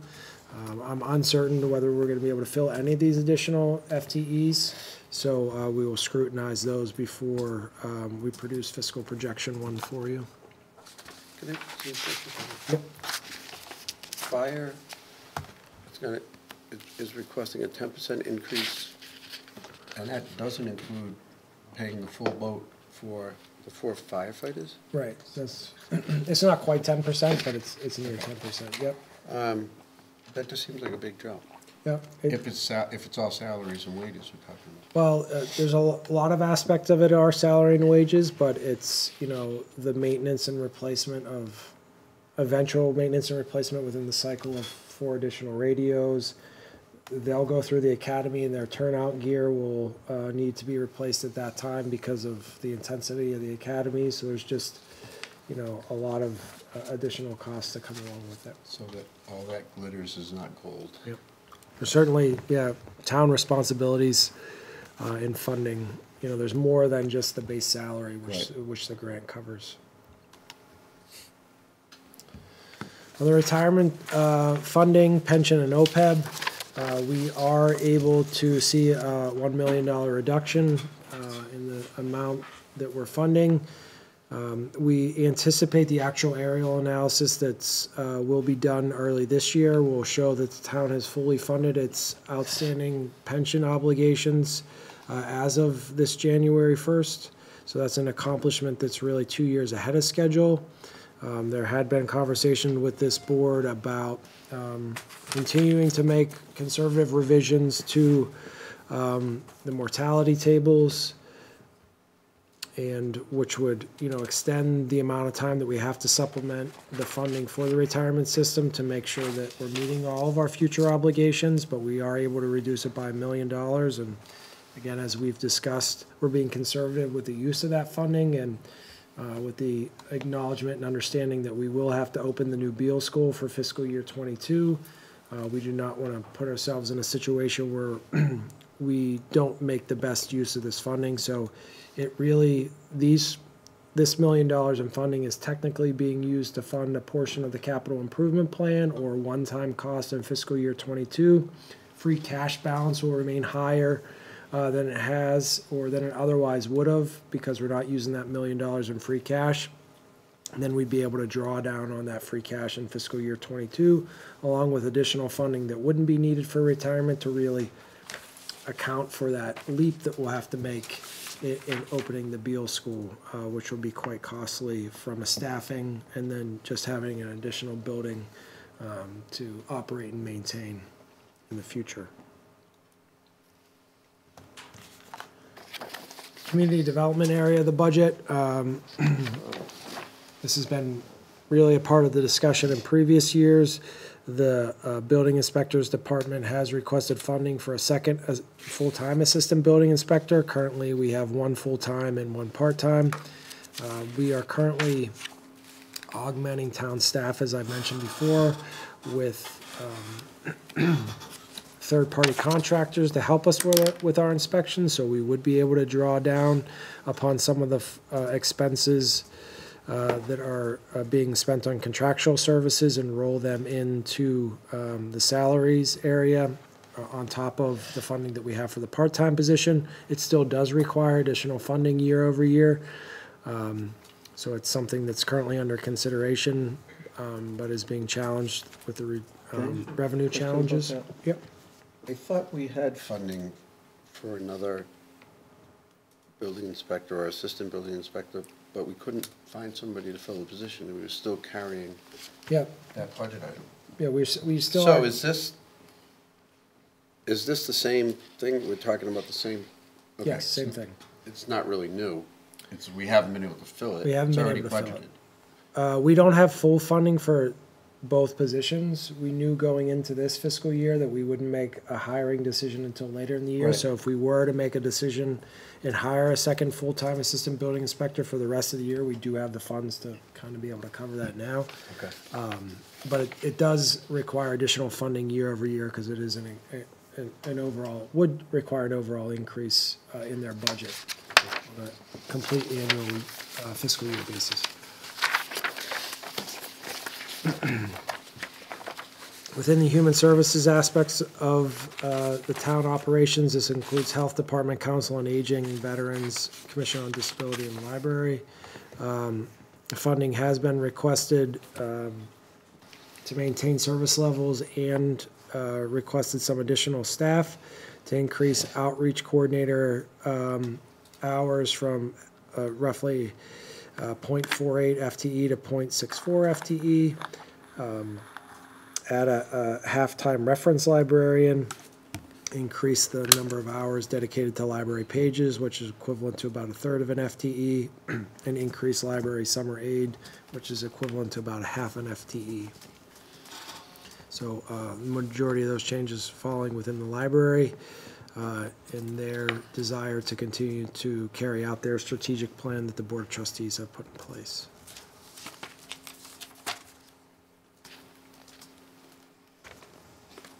Debt and interest is um, increased year over year to accommodate uh, both principal and interest payments for the Beal School uh, for the first time. So fiscal year '21 will be the first full year uh, for principal and interest. Um, So you'll see the increase from 10.5 to 12.9 million dollars. This is excluded, so the funds are there to cover these costs. There's no FTE that are associated with this. It's managed through the manager's office and the treasurer collector and the accountant.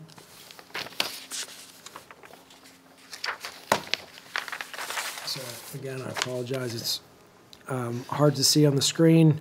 Um, I have provided the individual departmental um, year-over-year comparisons from FY '21 and '20 and actuals from 2019, 18, and 17. um, And some basic statistics on the right-hand side that um, identify the changes over current year funding to the budget year. Um, This is really more for the board to digest and ask questions if you have them now, or, you know, certainly in the future and in the run-up to the development of fiscal projection one.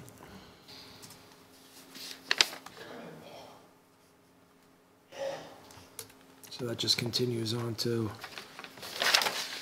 the next slide.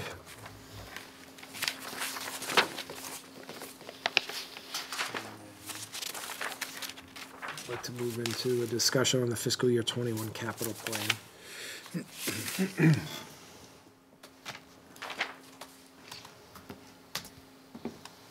So, um, as proposed, the fiscal year '21 capital improvement plan would include funding $1,877,544 worth of improvements. Um, This is less than the $2.4 million that were funded in fiscal year, in the current fiscal year, fiscal year '20. Um, We continue the model of using uh, any uh, monies that were previously allocated to capital improvements um, through debt service that was not excluded into this, uh, increasing that amount up to $108,000 to fund this. Um, Again, and as I said before, it's a little bit different funding model this year, utilizing the um, roughly million dollars that will not be used for the retirement system into these one-year costs so that they, those funds would be available in future years for ongoing obligations um, that the board sees fit to allocate at that time. Um, There are a number of projects that I'll quickly walk through. Um, They include the full funding of the remaining poll pads, which were partially funded in fiscal year '20, which will provide great efficiency and service to both early voters and uh, voters on election day and making their experience quicker and um, verification easier. Uh, The replacement of non-apparatus vehicle, uh, officer response vehicle for the current um, Ford Escape um, with a, a vehicle within DPW and engineering, funding $200,000 in design and improvements to public ways and public assets, um, and emergency action plans for Old Mill and Newton Pond Dam. Why, why is that a capital? What's that? Why is that a capital item? Emergency, emergency action plans for the dam. Why is it, it doesn't seem like it's a capital expenditure. Um, I mean, I think it's borderline. The, the asset, obviously, the dams themselves, which the, the action plans are for, are capital improvement, but, um. Oh, I it's a really- plan for For- capital improvements? Well, it's a plan for the dams, yes. Oh, okay. Right? Good. Um, On the highway side of things, uh, replacement of another frontline vehicle and a roadside mower. I just want to take a, a second to talk to the board about this because I would anticipate questions. Um, In the past, we've used um, a roadside mower uh, with in-house, um, much smaller piece of equipment. It's the same piece of equipment that we use I believe, for the, the snow plowing and maintenance of sidewalks.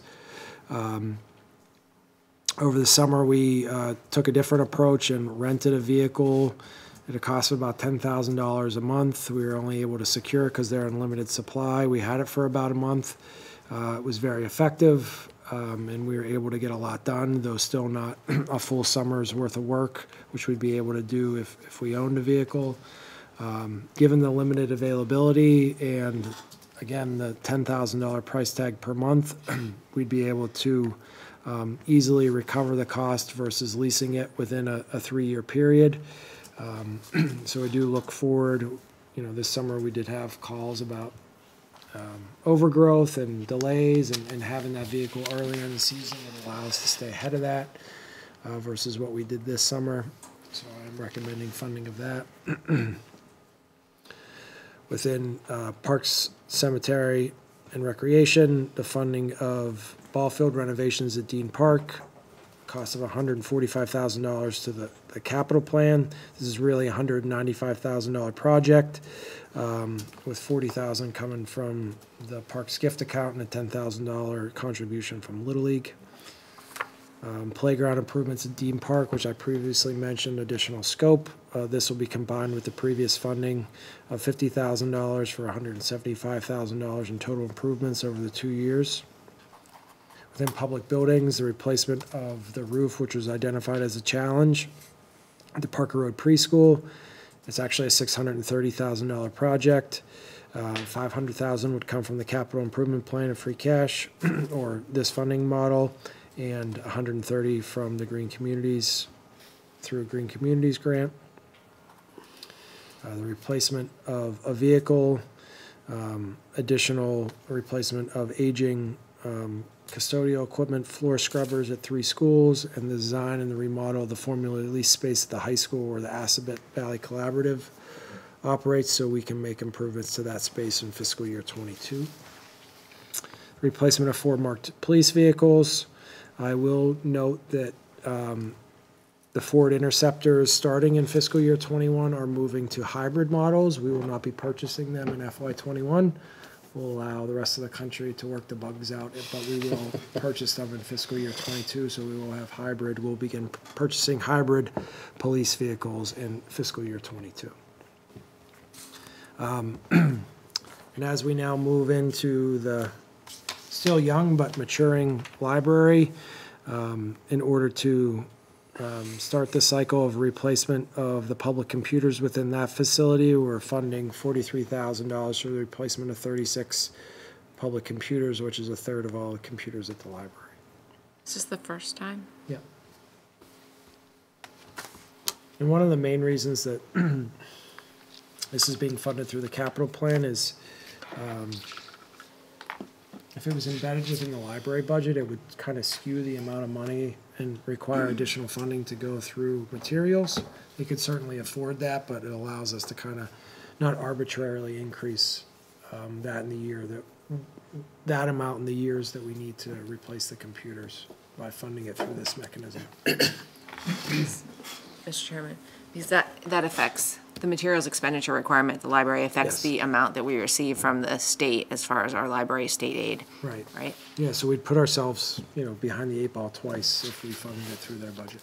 And that's usually pretty close. If I recall, last year it was like an extra two thousand dollars to make sure that we, or maybe a thousand dollars to make sure we got an extra two thousand dollars, but trying to get and leverage as much as possible from that library state aid is very important to the, uh, the functioning of the library. Correct. Is that it? Questions, comments? Yes, Mr. Samia. The only, a lot of information here, obviously it's still fluid, but the thing that we'll have to pay particular attention to is every decision in twenty-one, given some of the facts that you've that talked about for fiscal twenty-two, to the extent we can, almost have them side by side, so that every decision we make, we know immediately what we're looking at in twenty twenty-two. Right. And typically, I know it's one year with looking out several years, but I think given the sensitivity of uh, what we're looking at coming online in 2022, not only in terms of, of having an additional facility and staff, but also additional expenses related to operating, operating that facility. So just make, sure be mindful so we don't end up becoming into a- some sort of deficit situation. So, I know we'll do that, but just two, two-year approach instead of one. Great. Anyone else? No? Thank you. No. That was a lot of information early in, this early in the process. It's good. It's helpful. Thank you. See where we're going. Good. Great, thank you. Okay.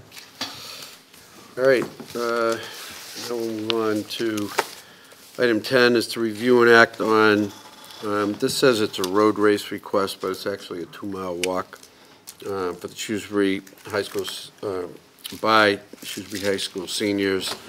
Um, um, Sophia Morano and Madison Sandowski for the first annual mental health awareness um, walk at Oak Middle School on Saturday, April 4th at 12 PM. Um, So what's the pleasure of the board? Move approval. Okay, we have motion and second. Any further discussion? There be none. All those in favor signify by saying aye. Aye. Aye. Opposed, so voted. Okay, um, I think we're down to correspondence, right? Item 11 is a letter dated January 2nd from um, the governor and lieutenant governor uh, to the town manager um, stating that we'll be getting an extra $98,983 um, in Chapter 90 funds this year, so noted. Item 12 is a letter dated June, uh, January 2nd from Joanne Campo, Office of Consumer Affairs and Business Regulation um, regarding a recent audit of dealerships. Um, From time to time, um, that office um, does, I guess, surprise inspections at, at various um, dealers um, to see that they're complying with the uh, notifications for the lemon law and, and used, used vehicle warranties, and they visited four um, new car dealers, and they all got hundred percent, so that's a good thing. So noted. Item thirteen is a letter dated January sixth from Susan Osborne, Osborne, two forty-nine South Quinsigamond Ave, regarding a water lien appeal. Mr. Mc- um, Mr. Mizikar, you, you're working on that, right? Yeah, we will, we will, The staff isn't dealing with that? we'll review it to determine the request and make a recommendation if any is needed to the commissioners. Okay. Item 14 is a letter dated January 6th from um, Shi Win Chen, 6 Crane Circle, we got a request for a cultural um, council appointment. Those do start in February, right? Yes. So what I would suggest is they certainly, they have capacity for, for more people there, but um, instead of making an appointment now, we're just, we're going to have several of them in February, just do them all at once so they end at the same time. Assuming, assuming that we do it. Um, Item 15 is our email dated January 6th from Bridget Rubin, um, Associate Member of the ZBA, um, informing us that um, because of other commitments, um, she um, has resigned as an associate member, so we'll need to be looking for someone to make that replacement. Item 16 is an email dated January 7th from Robert Raymond, CMRPC, um, regarding uh, Central Mass traffic uh, counting results, um, various roads throughout the community. Um, They they did this year. Um, And interesting to see, they go back like to, in the 80s or earlier. They've got the history of it, to see how the traffic uh, has increased. Um, So noted, item 17 is an email dated uh, January 10th from Jane Seibel, Spring Street School, regarding Community Reading Day. Um, There's a letter inviting um, any of us, um, or all of us, uh, to uh, participate in Community Reading Day, which will be March 6th, um, starting at 9:15. So noted, if anybody would like to go, do they want us to apply directly to them? I don't remember. or I did. Through the office, directly to her? Yeah, but I guess so. Okay. Um, Item 18 is an email, a memo dated January 10th from Andy Truman, Town Engineer, regarding the Old Mill Road sidewalk citizen request. Um, I guess there's issues on the, on, on being, having the room to uh, install those sidewalks. Um, it wasn't clear from the letter, he wasn't saying it couldn't be done, he was just saying we need the money, we would need the money to do it. Um, Because, There is potential right-of-way concerns, Right. as we get closer to Harrington, uh, right, where the stone walls come in. but the end of the corner where the, where um, um, that resident was talking about, it's the most dangerous part of the road, and it's- they stopped on both sides of it. Um, And there are a lot more people walking there, but anyways, it, it always comes down to money, but, um, so we'll have to, um, we'll just have to keep that, or add it to the list of potential projects. Um, Item 19 is a memo dated January 10th from Andy Truman, uh, Chief Hester, uh, Nick Repetka, uh, regarding the blind driveway sign request on Gulf Street. Um, They're recommending, based on accident history and the posted speed on the road, that that sign probably isn't necessary. Um, I think the posted speed and the actual speed are two different things, so I might talk to Andy offline about that, because what, if, if people were traveling, traveling at the, at the posted speed, I think it wouldn't be an issue, but, um, anyways, um, we got the response from them on that, on that issue. And item 20 is an email dated January 10th from Angela Snell, Superintendent of Public Facilities and Parks regarding the first DPW newsletter. Um, Angela, that, that, I I told you an email, I think it was great. Um, I, I think people really look forward to seeing those, so. um, I don't know if anybody else had a chance to read it, I thought it was done well. Yeah, I, I didn't- I didn't know you were a graphic artist, you could lay that out. We had assistance from Jessica, um, who's our admin in public facilities, helped with the layout. But she did a good job. Okay, anything else to come before the board in open session? Uh, the motion to adjourn? So moved. Second. Okay, motion is second, all those in favor? Aye? Aye. Opposed? So voted, we are adjourned.